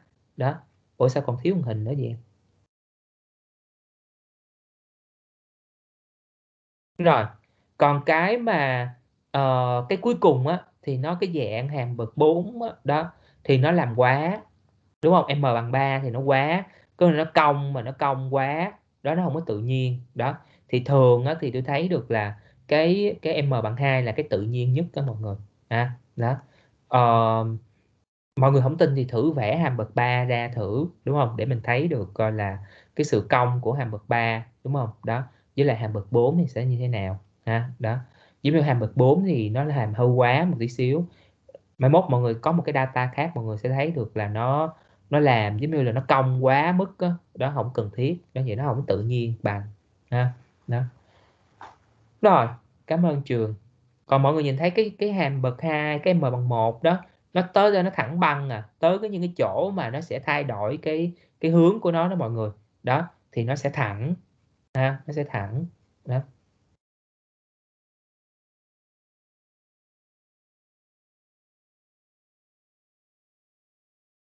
Rồi cảm ơn thiên đã gửi cái hình. Ha đó.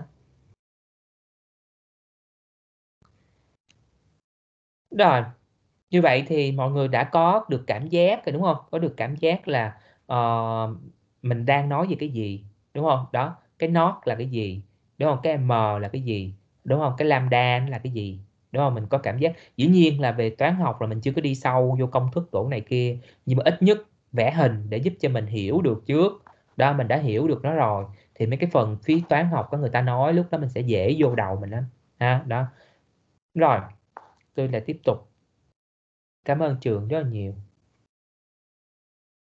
Bây giờ mình tiếp tục mình làm bài tập. Ha đó mình đã hiểu về mặt cơ bản rồi bây giờ mình làm bài tập. Thì bây giờ á uh, kim cương em uh, em em đã install được cái package rồi đúng không em? Dạ được thầy ừ. rồi. Bây giờ em thử chạy cho tôi ba cái dòng lệnh này đi ha copy nhé xong tôi bắt đầu nào tôi tôi nghĩ ai cũng nên làm đi cho cái cương xong ha. Cảm ơn uh, thiên đã gỡ cái hình hãy rất là dễ hiểu ha. Đó cái hình cái đó để mình thấy ờ, hàng ba hàng nhất hoặc hàng hai thì có thể thay đổi sao ha. Rồi cái library car đó em có chữ library đóng mở ngoặc. Car là cái, cái xe đó. Cái chữ ở đây nó tự nhiên nó tự thay biến thành cái xe luôn chữ car này ha đó. Rồi bây giờ nhiệm vụ của mình là sao? Cái data set nó là như vậy nè. Đó nó có những cái biến giống như vậy nè. Nhưng mà giờ tôi chỉ quan tâm hai cái biến thôi có nghĩa là income với là cái danh tiếng không? Đó ờ, với mà danh tiếng của công ty đó như thế nào đúng không? Và tiền lương của công ty đó đúng không? Tôi muốn vẽ hai cái plot đó thì tôi sẽ vẽ ra được cái plot này đúng không? Rồi xăm xuôi rồi á tôi muốn vẽ là smooth đúng không? Tôi sẽ ra cái này đó vậy đó. Rồi xong sau đó là mình thử so sánh đúng không? Giữa mình smooth đó đó với lại cái vẽ một cái đường thẳng đó nó sẽ như thế này ha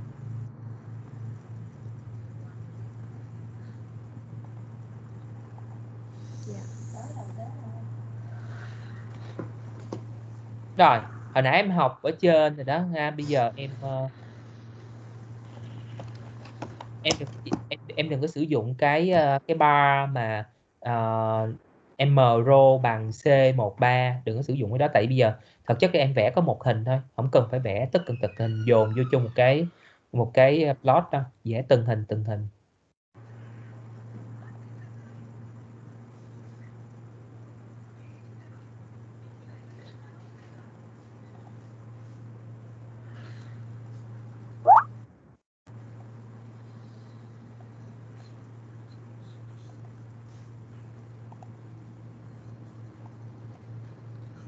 dạ cái hình thứ nhất đó thầy ừ. rồi thì là, là cái hình thứ nhất đúng không? Là cái income với lại cái danh tiếng của công ty đúng không? Có nghĩa là lương của nhân viên và cái danh tiếng của công ty đó đúng không?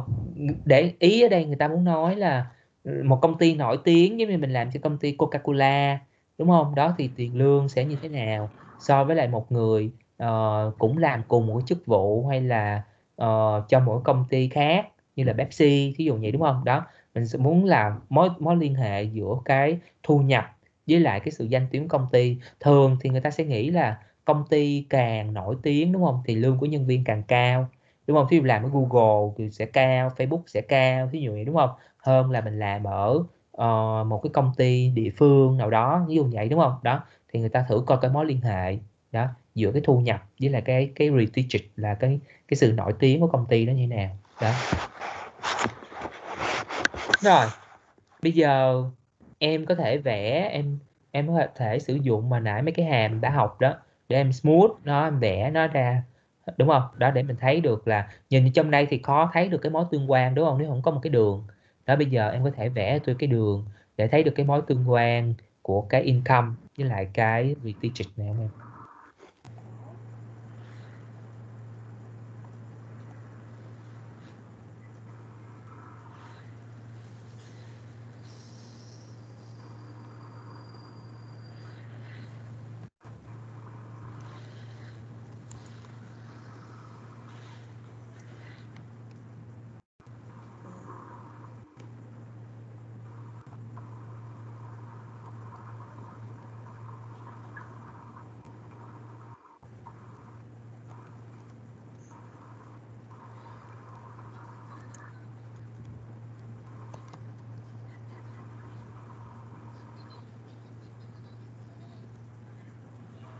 Cái node em không cần specify cũng được nữa em.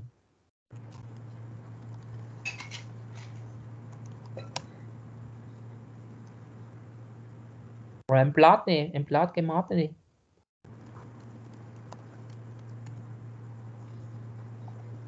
Rồi nó ra cái đường đó rồi đúng không?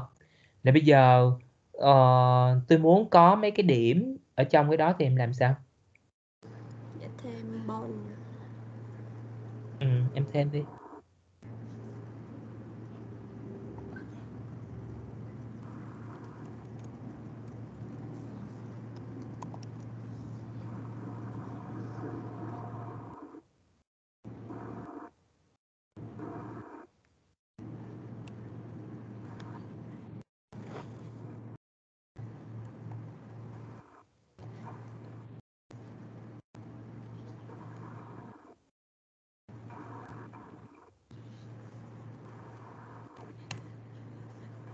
Đúng rồi.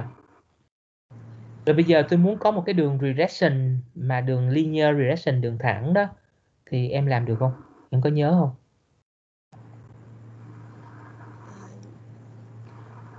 Ở đó không có đâu em. Nếu mà em không nhớ, tôi tôi gỡ cho em.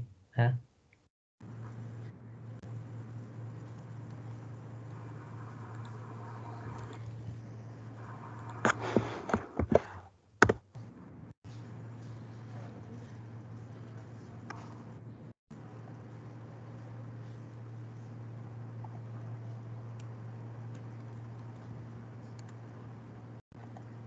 Rồi mọi người thấy là uh, cái đường linear regression nó cũng estimate cũng không đến nỗi nào tệ đúng không?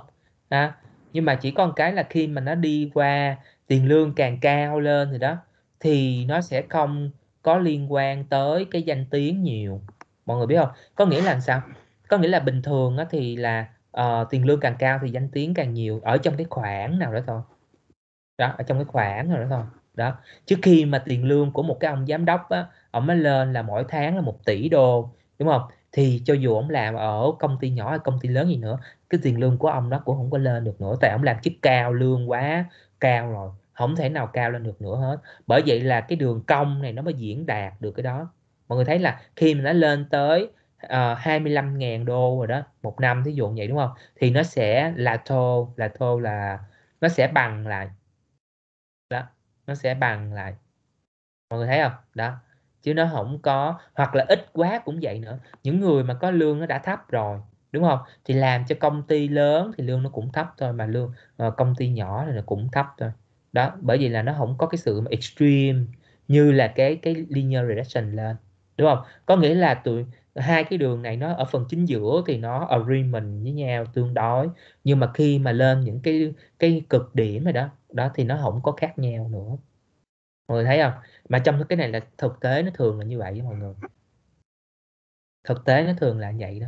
Có nghĩa là bình thường thì những người mà chung chung trung bình với lại là khá khá thì sẽ khác nhau.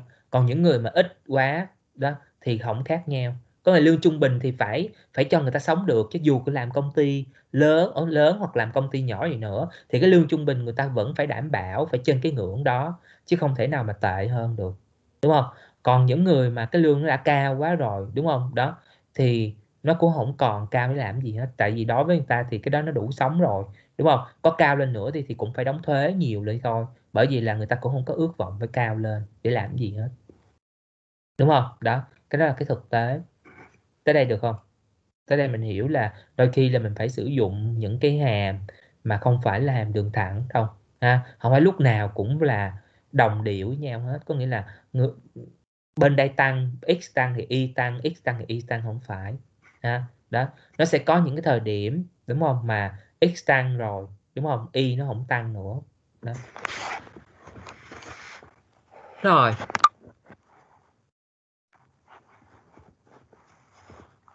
Cảm ơn kim cương rất là nhiều. Ha có ai hỏi gì về này không mọi người? Hello. Rồi không hỏi gì nữa thì chúng ta tiếp tục. Dạ ổn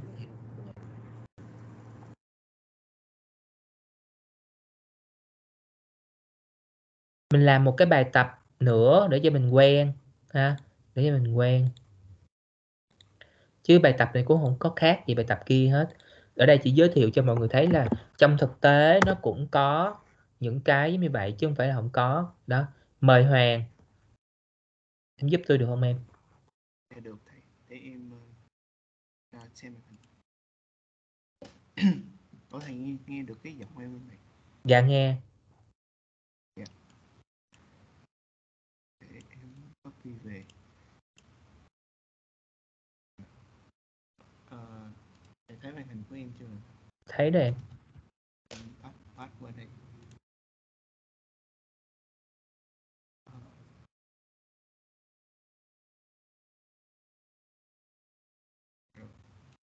Là có cái data trước cái ờ, ừ. để cho mọi người xem thử cái data như thế nào. Rồi. ở đây là một cái ờ, ờ, xe máy đó mọi người ha. Và người ta đo thời gian để mà cái cái cái sự thay đổi tốc độ á, ha, của cái máy đó. Mọi người cũng biết rồi một cái máy mà bình thường á ai mà chạy chạy xe tay ga á, thì sẽ thấy được là cái sự thay đổi tốc độ nó sẽ từ từ đúng không? Đó chứ nó cần khoảng ờ, một giây hoặc là hai giây gì đó nó mới chuyển từ tốc độ này nó mới lên từ từ đúng không? Cái đó nó phù hợp cho nữ đó gì đó.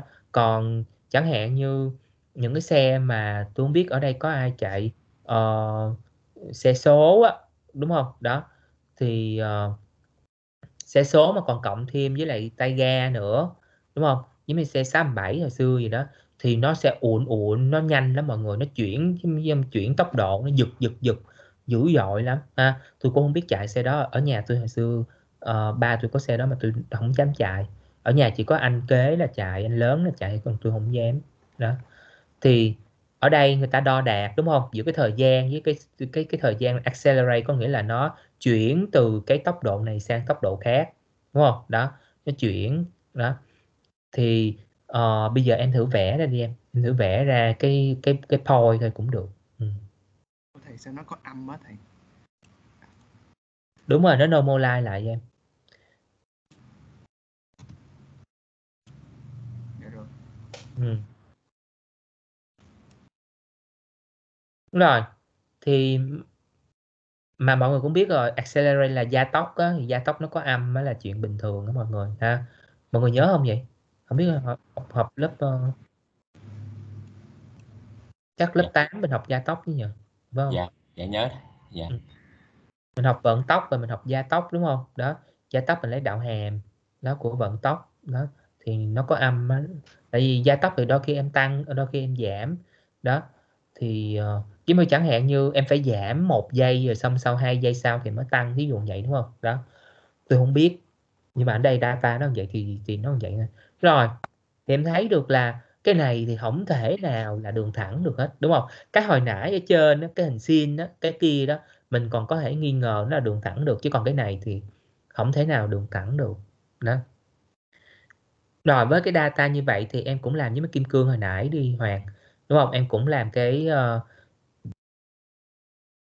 non-linear regression đi thử coi làm sao em ha. Dạ thì cái này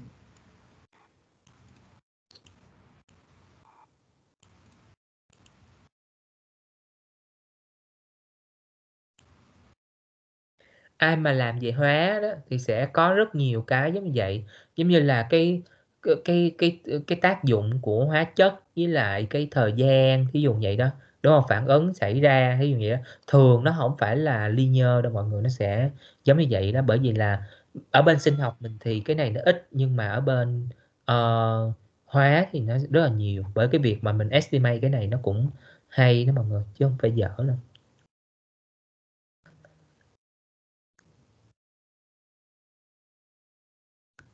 Không biết uh,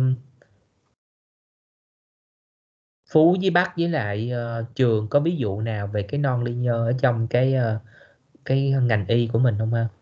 Có gì bữa sau cho thêm data được không mọi người? Ha? Để mình thử làm mình estimate coi sao.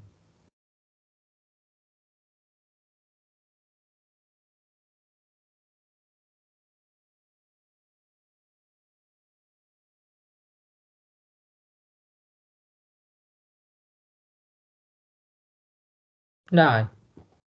Thì mọi người thấy là ở đây mình estimate là khá là đẹp đúng không ha? Tự nhiên xong đâu cái là theo thời gian là cái nó giảm xuống rồi nó lại tăng lên đúng không? Đó.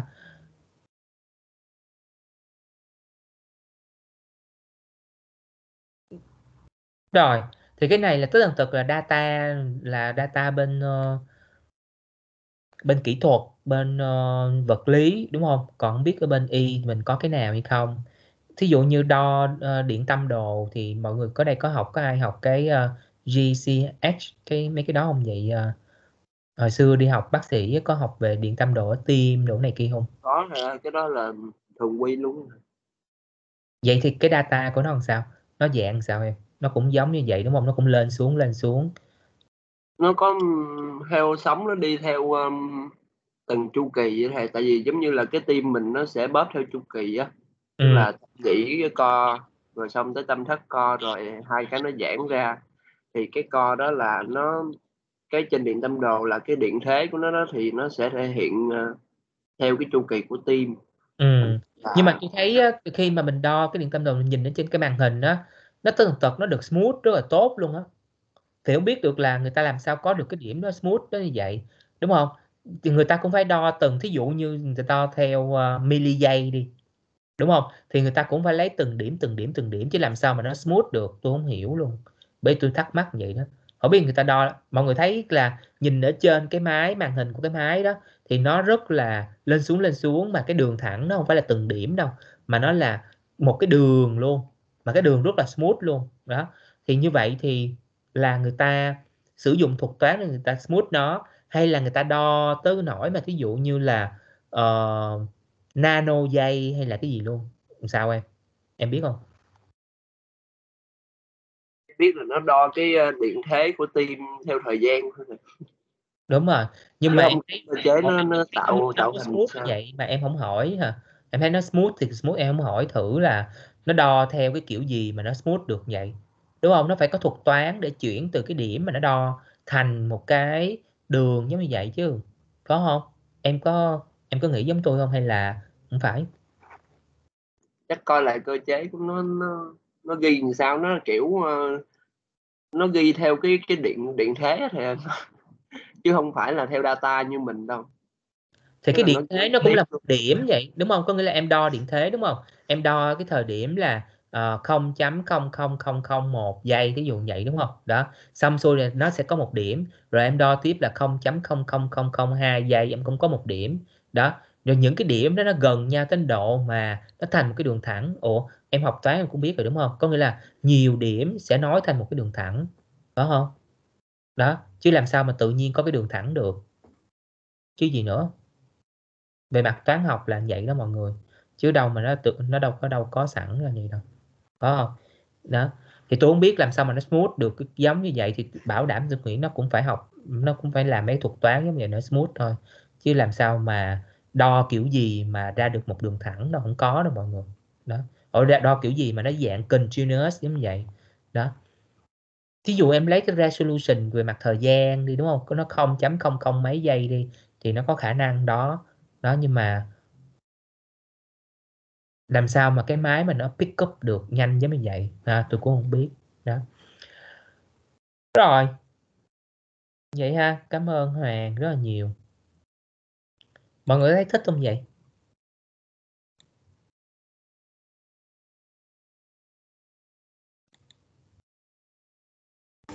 Dạ em thấy cái này hay á thầy. Mình uh, quan sát được cái data của mình nó trực quan hơn uh, cái bước đầu của mình trực quan hơn.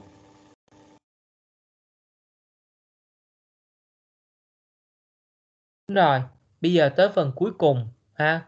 Bây giờ hồi nãy mình vẽ ra một cái chi plot là nó không ok đúng không? Đó bây giờ mọi người thử nghĩ lại coi là uh, nếu mà giờ nó không ok có cách nào làm cho nó ok hơn hay không? Đúng không? Ha thì bây giờ tôi copy cái này để cho uh, chắc thiên ha thiên phụ. Thầy ơi cho em hỏi một xíu là ví dụ như cái đường hồi nãy em vẽ thì mình có à, tìm được cái, cái cái là nó nó làm cho mình cái đường thẳng đó, thì nó có cái đưa cho mình cái à, hàm cái hàm của cái cái đường đó không thầy Thế là có cách nào để mình biết được cái hàm của cái đường nó vẽ ra vậy không? mình biết được chứ em mình biết được cái hàm nó vẽ ra là cái gì mình biết được ừ. Nhưng mà bữa nay mình không nói tới cái phần đó cái phần đó nó nằm ở bên cái uh, uh, nó nằm ở bên cái cái bài bên uh, bên kia ha mình biết được. Dạ em cảm ơn thầy. Cảm ơn bác nha uh, cảm ơn bác thì đó dạ, vâng, thầy. Vâng thầy hồi xưa em có đi đo thì thấy cũng có trường hợp nó bị nhiễu như thế này ạ. Thì uh, lúc đấy thì thường là hay do các cái điện cực mình uh, ví dụ trong trường hợp người bệnh nhân người ta vẫn còn các cái dụng cụ kim loại như đồng hồ dây chuyền hay là điện thoại đấy và mình phải kiểm tra lại các điện cực ạ. Còn em cũng nghĩ chắc là máy nó không có một cái gì đó để nó xuống để nó đưa ra cái tín hiệu uh, output cuối cùng này ừ, ừ. còn cái mà nó cứ bị uh, nhập nhằng nhằng này thường là do mình phải kiểm tra lại cái kỹ thuật hơn là do cái máy nó bị lỗi ạ dạ. ừ, ừ, ừ. thì cái này bây giờ người ta sử dụng machine learning để coi cái pattern giống vậy nè và coi có có bệnh hay không. Mọi người dựa trên cái cái cái cái pattern của từng cái. Mỗi người sẽ có một cái pattern giống như là nó không phải khác nhau lắm đâu nhưng mà có những cái pattern đó thì nó có bệnh đó mọi người. Đó nhìn vô cái pattern vậy mà biết bệnh coi ghê không? Trời đất ơi. Dạ vâng ạ. Thực ra có à, hồi xưa em học cũng có nhưng mà cũng không học quá sâu. Nhưng mà nó sẽ có những cái cái sóng nó rất điển hình cho các trường hợp là bị nhồi máu cơ tim chẳng hạn hay các cái bệnh là block dây truyền trong tim ạ. Nó sẽ có các cái sóng nó rất điển hình thì em chắc nó cũng giống kiểu xử lý hình ảnh. Không biết ừ. là cái trong cái Apple Watch mà nó có thể cảnh báo chủ nhân trường hợp nào mà có nguy hiểm thì không biết nó có ứng dụng kiểu đấy không? Đó. Nhưng cái đấy nó chỉ đo ở dạ. Thấy như mấy cái máy đo điện tim á thường nó cũng có tích hợp cái ờ, cái phần mềm mà nó đọc kết quả của cái điện tim đó luôn thầy ừ. thì cái đó thì nó cũng không có gì mới nó lâu lắm rồi cái chuyện đó thì nó cũng cũ rồi mà thông thường các bác sĩ người ta ít khi người ta tin cái đó người ta dựa trên kinh nghiệm người ta đọc thôi còn ừ. cái dục mà machine learning hay là AI gì đối với cái điện tim này thì em cũng chưa có tìm hiểu không biết là có gì cập nhật mới hơn hay không có đài với em nó sử dụng deep learning bữa kia tôi mới mới đọc một bài cái ECG này nè. Ừ, đó. Bởi vậy là tôi mới định mở cái chuyên ngành mà giống như là biomedical data cái này data mình nó dễ lấy là dễ đo lắm mọi người chứ đâu có khó đâu. Đó mình uh, đi xin data cũng dễ hoặc là trữ data đổ này kia nó cũng dễ đâu mọi người. Đó nó đâu có khó khăn đâu thì làm mấy cái này tôi thấy có có, có vẻ như là dễ thu data hơn. Chứ còn mình làm mấy cái mà về cái genomic hoặc là epigenetic á, thu data gì đâu mà đắt đỏ quá đúng không? Đó lấy sample nó cũng khó. Chứ còn cái này á hả vô sinh nó bệnh viện tôi nghĩ là người ta cho chứ không có gì khó khăn đâu. Đó. Cái này nó dễ nó phổ biến mà nó rẻ tiền nữa thầy. Nếu mà làm được thì rất là hay luôn. Ừ. mà không mà trong y học á không chỉ là cái sóng trên điện tim thôi nói về sóng nhiều lắm thầy. Đúng điện, rồi sóng đồ điện rồi. cơ rồi tùm lum hết trơn hô hấp ký rồi này nọ đó. Nếu mà mình ứng dụng được thì em thấy hay. Ừ, ừ, ừ.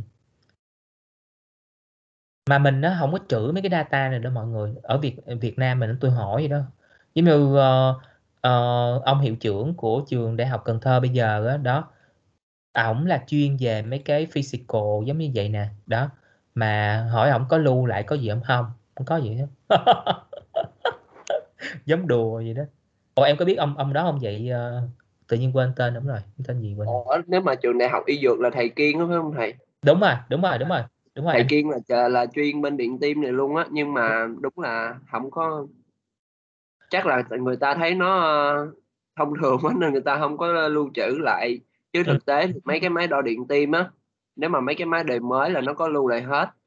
Với lại là nếu mà mình dùng Không. dạng monitor anh anh Kiên nói là ờ, có lưu lại mà không có rec, ờ, cái clinical record không có gì đó. Có nghĩa là À, cái máy à, nó à, lưu hiểu lại thì nó luôn vậy thôi à, chứ không có À. kết hợp là ừ người đó bị bệnh đó bị bệnh đó lúc nào phát hiện ra bằng kiểu gì. Đó rồi có hết bệnh hay không hay là có lại tái cám hay không không có thì mình thu cái này để làm gì? Không biết có không có nhãn không có label hết thu để làm gì? Em hiểu không? Vâng. đó. Nó không có làm theo một cách khoa học không có cái gì hết em.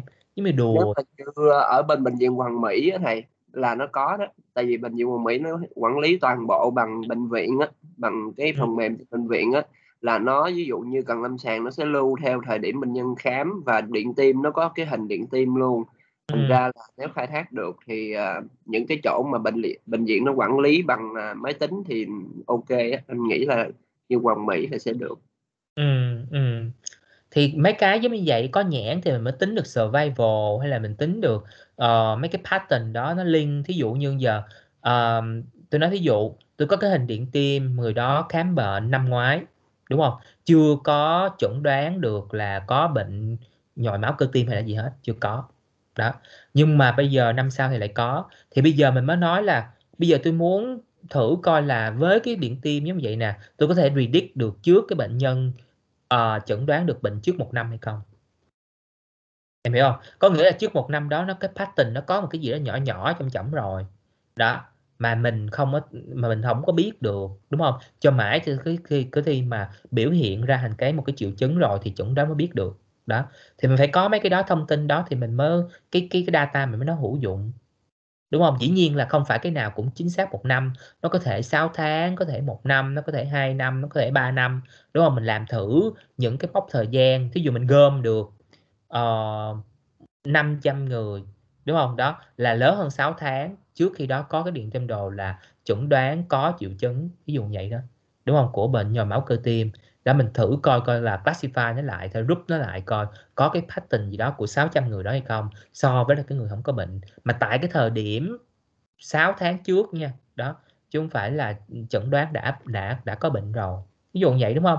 Thì cái thông tin mình nó mới hữu dụng và cái ý nghĩa là ừ bây giờ là tôi ít nhất là trước khi 6 tháng tôi đã thấy được cái cái pattern đó thì tôi nói là cái người này 6 tháng nữa sẽ có, đó, sẽ có cái triệu chứng bệnh tim. Ví dụ vậy, nhồi máu cơ tim ví dụ vậy đúng không? Đó thì mình mới làm. thấy uh, ý tưởng gì là hay á thầy. Đúng là mình mình biết thêm mấy cái này mình áp dụng được vô nhiều cái um, kiểu như bình thường mình nghĩ nó không có gì nhưng mà thậm chí là cái điện tim này á, thường á là bác sĩ người ta không có tin vô mấy cái máy người ta chủ yếu là người ta tin vào cái cái kỹ năng đọc của người ta thôi. Thì Đúng. thông thường á, là người ta phải khám bệnh nhân là người ta có một cái giống như là một có một cái um, cảm giác tức là cái phán đoán là mức độ bệnh nhân đó là có những vấn đề gì thì người ta sẽ kết hợp thêm người ta tìm một số cái mà người ta cần tìm trên cái điện tim thì ừ. do đó là lý do mà thường người ta không có thể nghe theo cái máy nhưng mà ví dụ như mình có thể phát triển được những cái ví dụ như AI hay là gì này nọ mà nó có thể so sánh được với cái độ chính xác của người đọc thì nó cũng hay Ừ. Tức là điểm hiện tại hoặc là để tiên tiên lượng xa giống như thầy nói thì nó được thì thấy cũng hay Ừ. Nhưng mà tất tần tật mình làm á, phải cần có data hết em chứ mình đâu có tưởng tượng ra được đúng không? Đó phải có data. Có nghĩa là mấy bác sĩ như là anh Kiên gì đó chịu hợp tác với mình á, thì ok đó. Thì thật chất ra thì trường với bác sĩ trường với bác sĩ Hạnh thì cũng đâu có thích ờ, ông phải sorry bác sĩ Hạnh thì cũng đâu có thích cái mấy cái AI giống vậy đâu bác sĩ Hạnh tự tin lắm đó. Giống mà có có những người người ta vậy với mọi người chứ mình đâu có có nghĩa là người ta không thích máy móc mấy vậy đó không thích đó. Nhưng mà mọi người thử nghĩ đi là từ lúc ban đầu khi mà uh, uh, tất cả mọi người ở đây ai mà vô một cái cái cái cái nghề nghiệp của mình mới ban đầu á thì mình cũng đâu có biết cái gì đâu mình cũng như tờ giấy trắng thôi. Nó cũng như là mấy cái machine learning đó thôi đúng không? Có nghĩa là không có data gì hết. Cái từ từ cái chẩn đoán sai rồi xong xuôi bắt đầu là từ từ mình mới có kinh nghiệm từ từ tích lũy từ từ đúng không? Đó. Họ cứ quên đi cái cái quá trình khởi đầu của mình đó gì đó. Mà nhớ cái cái cái cái kết quả hiện tại của mình có, đúng không? Chứ thật chất ra ban đầu thì ở đây tất cả mọi người tụi mình ở đây đều giống nhau hết. Đó là là một tờ giấy trắng, đúng không? Đó. Mình làm nhiều, mình học nhiều thì mình tích lũy kinh nghiệm. Đó gì đó. Thì cái máy nó cũng vậy thôi. Em có nhiều data em đưa cho nó thì nó cũng như em thôi chứ sao giờ? Phải không? Có khi nó giỏi hơn mình là sao? Giỏi hơn cái chỗ là cái data đó tích lũy không phải chỉ có một mình em phân loại nó ra đúng không? Thí dụ như giờ em là một người làm phân loại cái hình ờ, uh, ECG đó đúng không? Rồi bác sĩ Kiên đó cũng vậy thí dụ như vậy đúng không? Thì cái người kia có nhiều kinh nghiệm hơn thì không chừng nó ra cái kết quả cộng thêm cái của em nữa cho cho một cái chuẩn đoán nó còn tốt hơn của một người đúng không? Đó. Bởi vậy tôi tôi bảo đảm là nếu mình ai đã học ở đây statistics rồi thì cũng thấy được là nó tương thực nó dựa trên những cái gì mình đã làm và nó làm cho nó giống, đúng không? Bởi vì mình cứ lấy cái f lấy cái fx trừ cho cái y rồi lấy bình phương lên, đúng không? Đó, nó phải làm cho ra cái kết quả giống như cái của mình thì thôi à. đó, giống nhất có thể, đó, khả năng của nó là làm giống nhất có thể. Đôi khi con người mình làm sao quan sát được tỉ mỉ, mà đôi khi đôi khi cái hình này, ví dụ vậy, đúng không? Nó chỉ là một cái interval thôi. Nó có, đôi khi nó có nhiều cái interval mà nó khác nhỏ nhỏ, mình đâu có thấy được, đúng không? Đó. Rồi dạ à, vậy em share cái màn share màn hình để làm cái bài tập nha thầy. Ừ. Share đi em. Dạ ở đây thì uh, mình cũng sử dụng cái data là em cycle uh, về cái gia tốc và thời gian gia tốc của uh, xe máy như nãy uh, Hoàng trình bày để đem uh, cái plot uh, cơ bản của mình. Uh, giờ nếu mà mình sử dụng ggplot uh, thì mình sẽ có um, được cái à, germ point và germ smooth thì theo cái method là linear. Thì mình sẽ có được cái hình như thế này nhưng mà ở đây uh, như nãy giờ thầy giảng thì mình thấy là cái cái line này là nó không thể hiện được cho cái bộ data này của mình. Uh, nhưng mà khi mình thay đổi cái uh, method là Lewis thì uh, nó uh, cái cái cái line này cái line này của mình nó sẽ um, uh, thể hiện được um, gần bao quát cái cái data về cái gia tốc và thời gian của mình uh, và cái standard error. Nhưng mà nó cũng không đẹp lắm đúng không? Nó được đỡ đỡ thôi có nghĩa là uh, cái này có thể uh, mình gọi nó là nếu mà em phải tính ra cái error của nó giống như nãy công thức mình tính á thì mình mới biết được nó bao nhiêu đúng không? Thì tôi bảo đảm cái này thì nó cũng không được nhiều nhưng mà ít nhất nó cũng còn có chút xíu giống đúng không? Ha? Rồi tiếp tục đi. Dạ à, tiếp theo là mình cũng à, những cái, cái hàm tương tự nhưng mà ở cái ờ, method thì mình uh, sử dụng uh, li, uh, linear nhưng mà ở đây cái linear này không phải là hàm bậc nhất nữa mà là mình sẽ sử dụng hàm uh, bậc 3 uh, với cái degree bằng 3 thì ở đây mình thấy là cái cái line này của mình nó nó nó có vẻ là nó đẹp hơn và nó tròn hơn uh, nó có đường cong nó smooth hơn so với cái uh, uh, sử dụng method là uh, Lewis ừ. bây giờ em thử cho bậc 2 và em thử cho bậc 4 em sửa lại cho nó làm sao em? Dạ.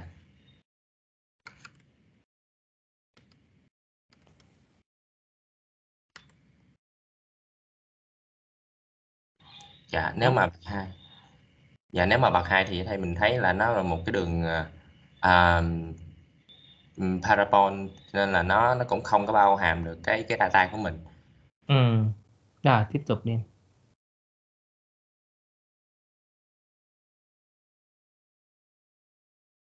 à, dạ. Ở đây mình thấy là hàm ở đây là hàm bậc 3 còn ở đây là hàm bậc 4 thì mình thấy là cái cái line này của mình nó uh, cái điểm uh, cái cái cái điểm mà mình nó, nó thay đổi uh, uh, hướng đi thì nó sẽ lớn hơn. Uh, và nó em thấy là nó bao hàm hơn về cái data của mình.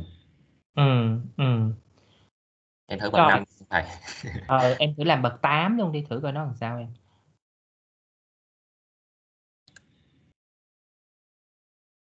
Ồ, dạ ở đây là nó em thấy là nó không có smooth bằng nhưng mà nó nó nhiều nó nó nhiều cái quá nó làm quá dạ. nó nhiều nó làm quá đúng không mọi người thấy không? Vậy thì bây giờ em sửa là bậc 6 thôi. Thế làm quá thể thì ờ, ờ, nó cho nhiều muối quá mặn quá thì em, em làm xuống ít. Dạ thì ở bậc 6 bậc 6 thì em thấy nó nó nó tốt hơn so với bậc 4 nhưng mà nó cũng hơi over đúng 50 rồi ừ. Ừ đó mọi người thấy không? Đó đó vậy đó chỉ có một cách là phải làm thử rồi xong sẽ observe được đúng không? Đó thì cái này nó dĩ nhiên nó không có tốt bằng cái cái cái bên kia cái cái bucket SS kia á, là cái hàm SS trong cái bucket là NB grad đó thì nó chuyên dụng đúng không? Nó chuyên dụng. Cái này là mình chỉ ướm thử thôi. Đó chứ đâu có chứ đâu có khác. Đó. rồi. Như vậy là xong cái bài này ha. Dĩ nhiên ở đây cái bài này chỉ giúp cho mình vẽ thôi và mình hiểu sơ cơ bản thôi. Chứ còn mà muốn hiểu toán học đồ này kia đồ thì phải qua bên cái machine learning học cái là ờ, uh, Bolino Bitspline đúng không? Đó mấy cái mà regression mà mình nâng cái regression nó lên từ linear regression thành những cái hàm bậc cao hơn ha. Rồi cảm ơn Thiên rất là nhiều. Có ai hỏi về phần này nữa nào nữa không?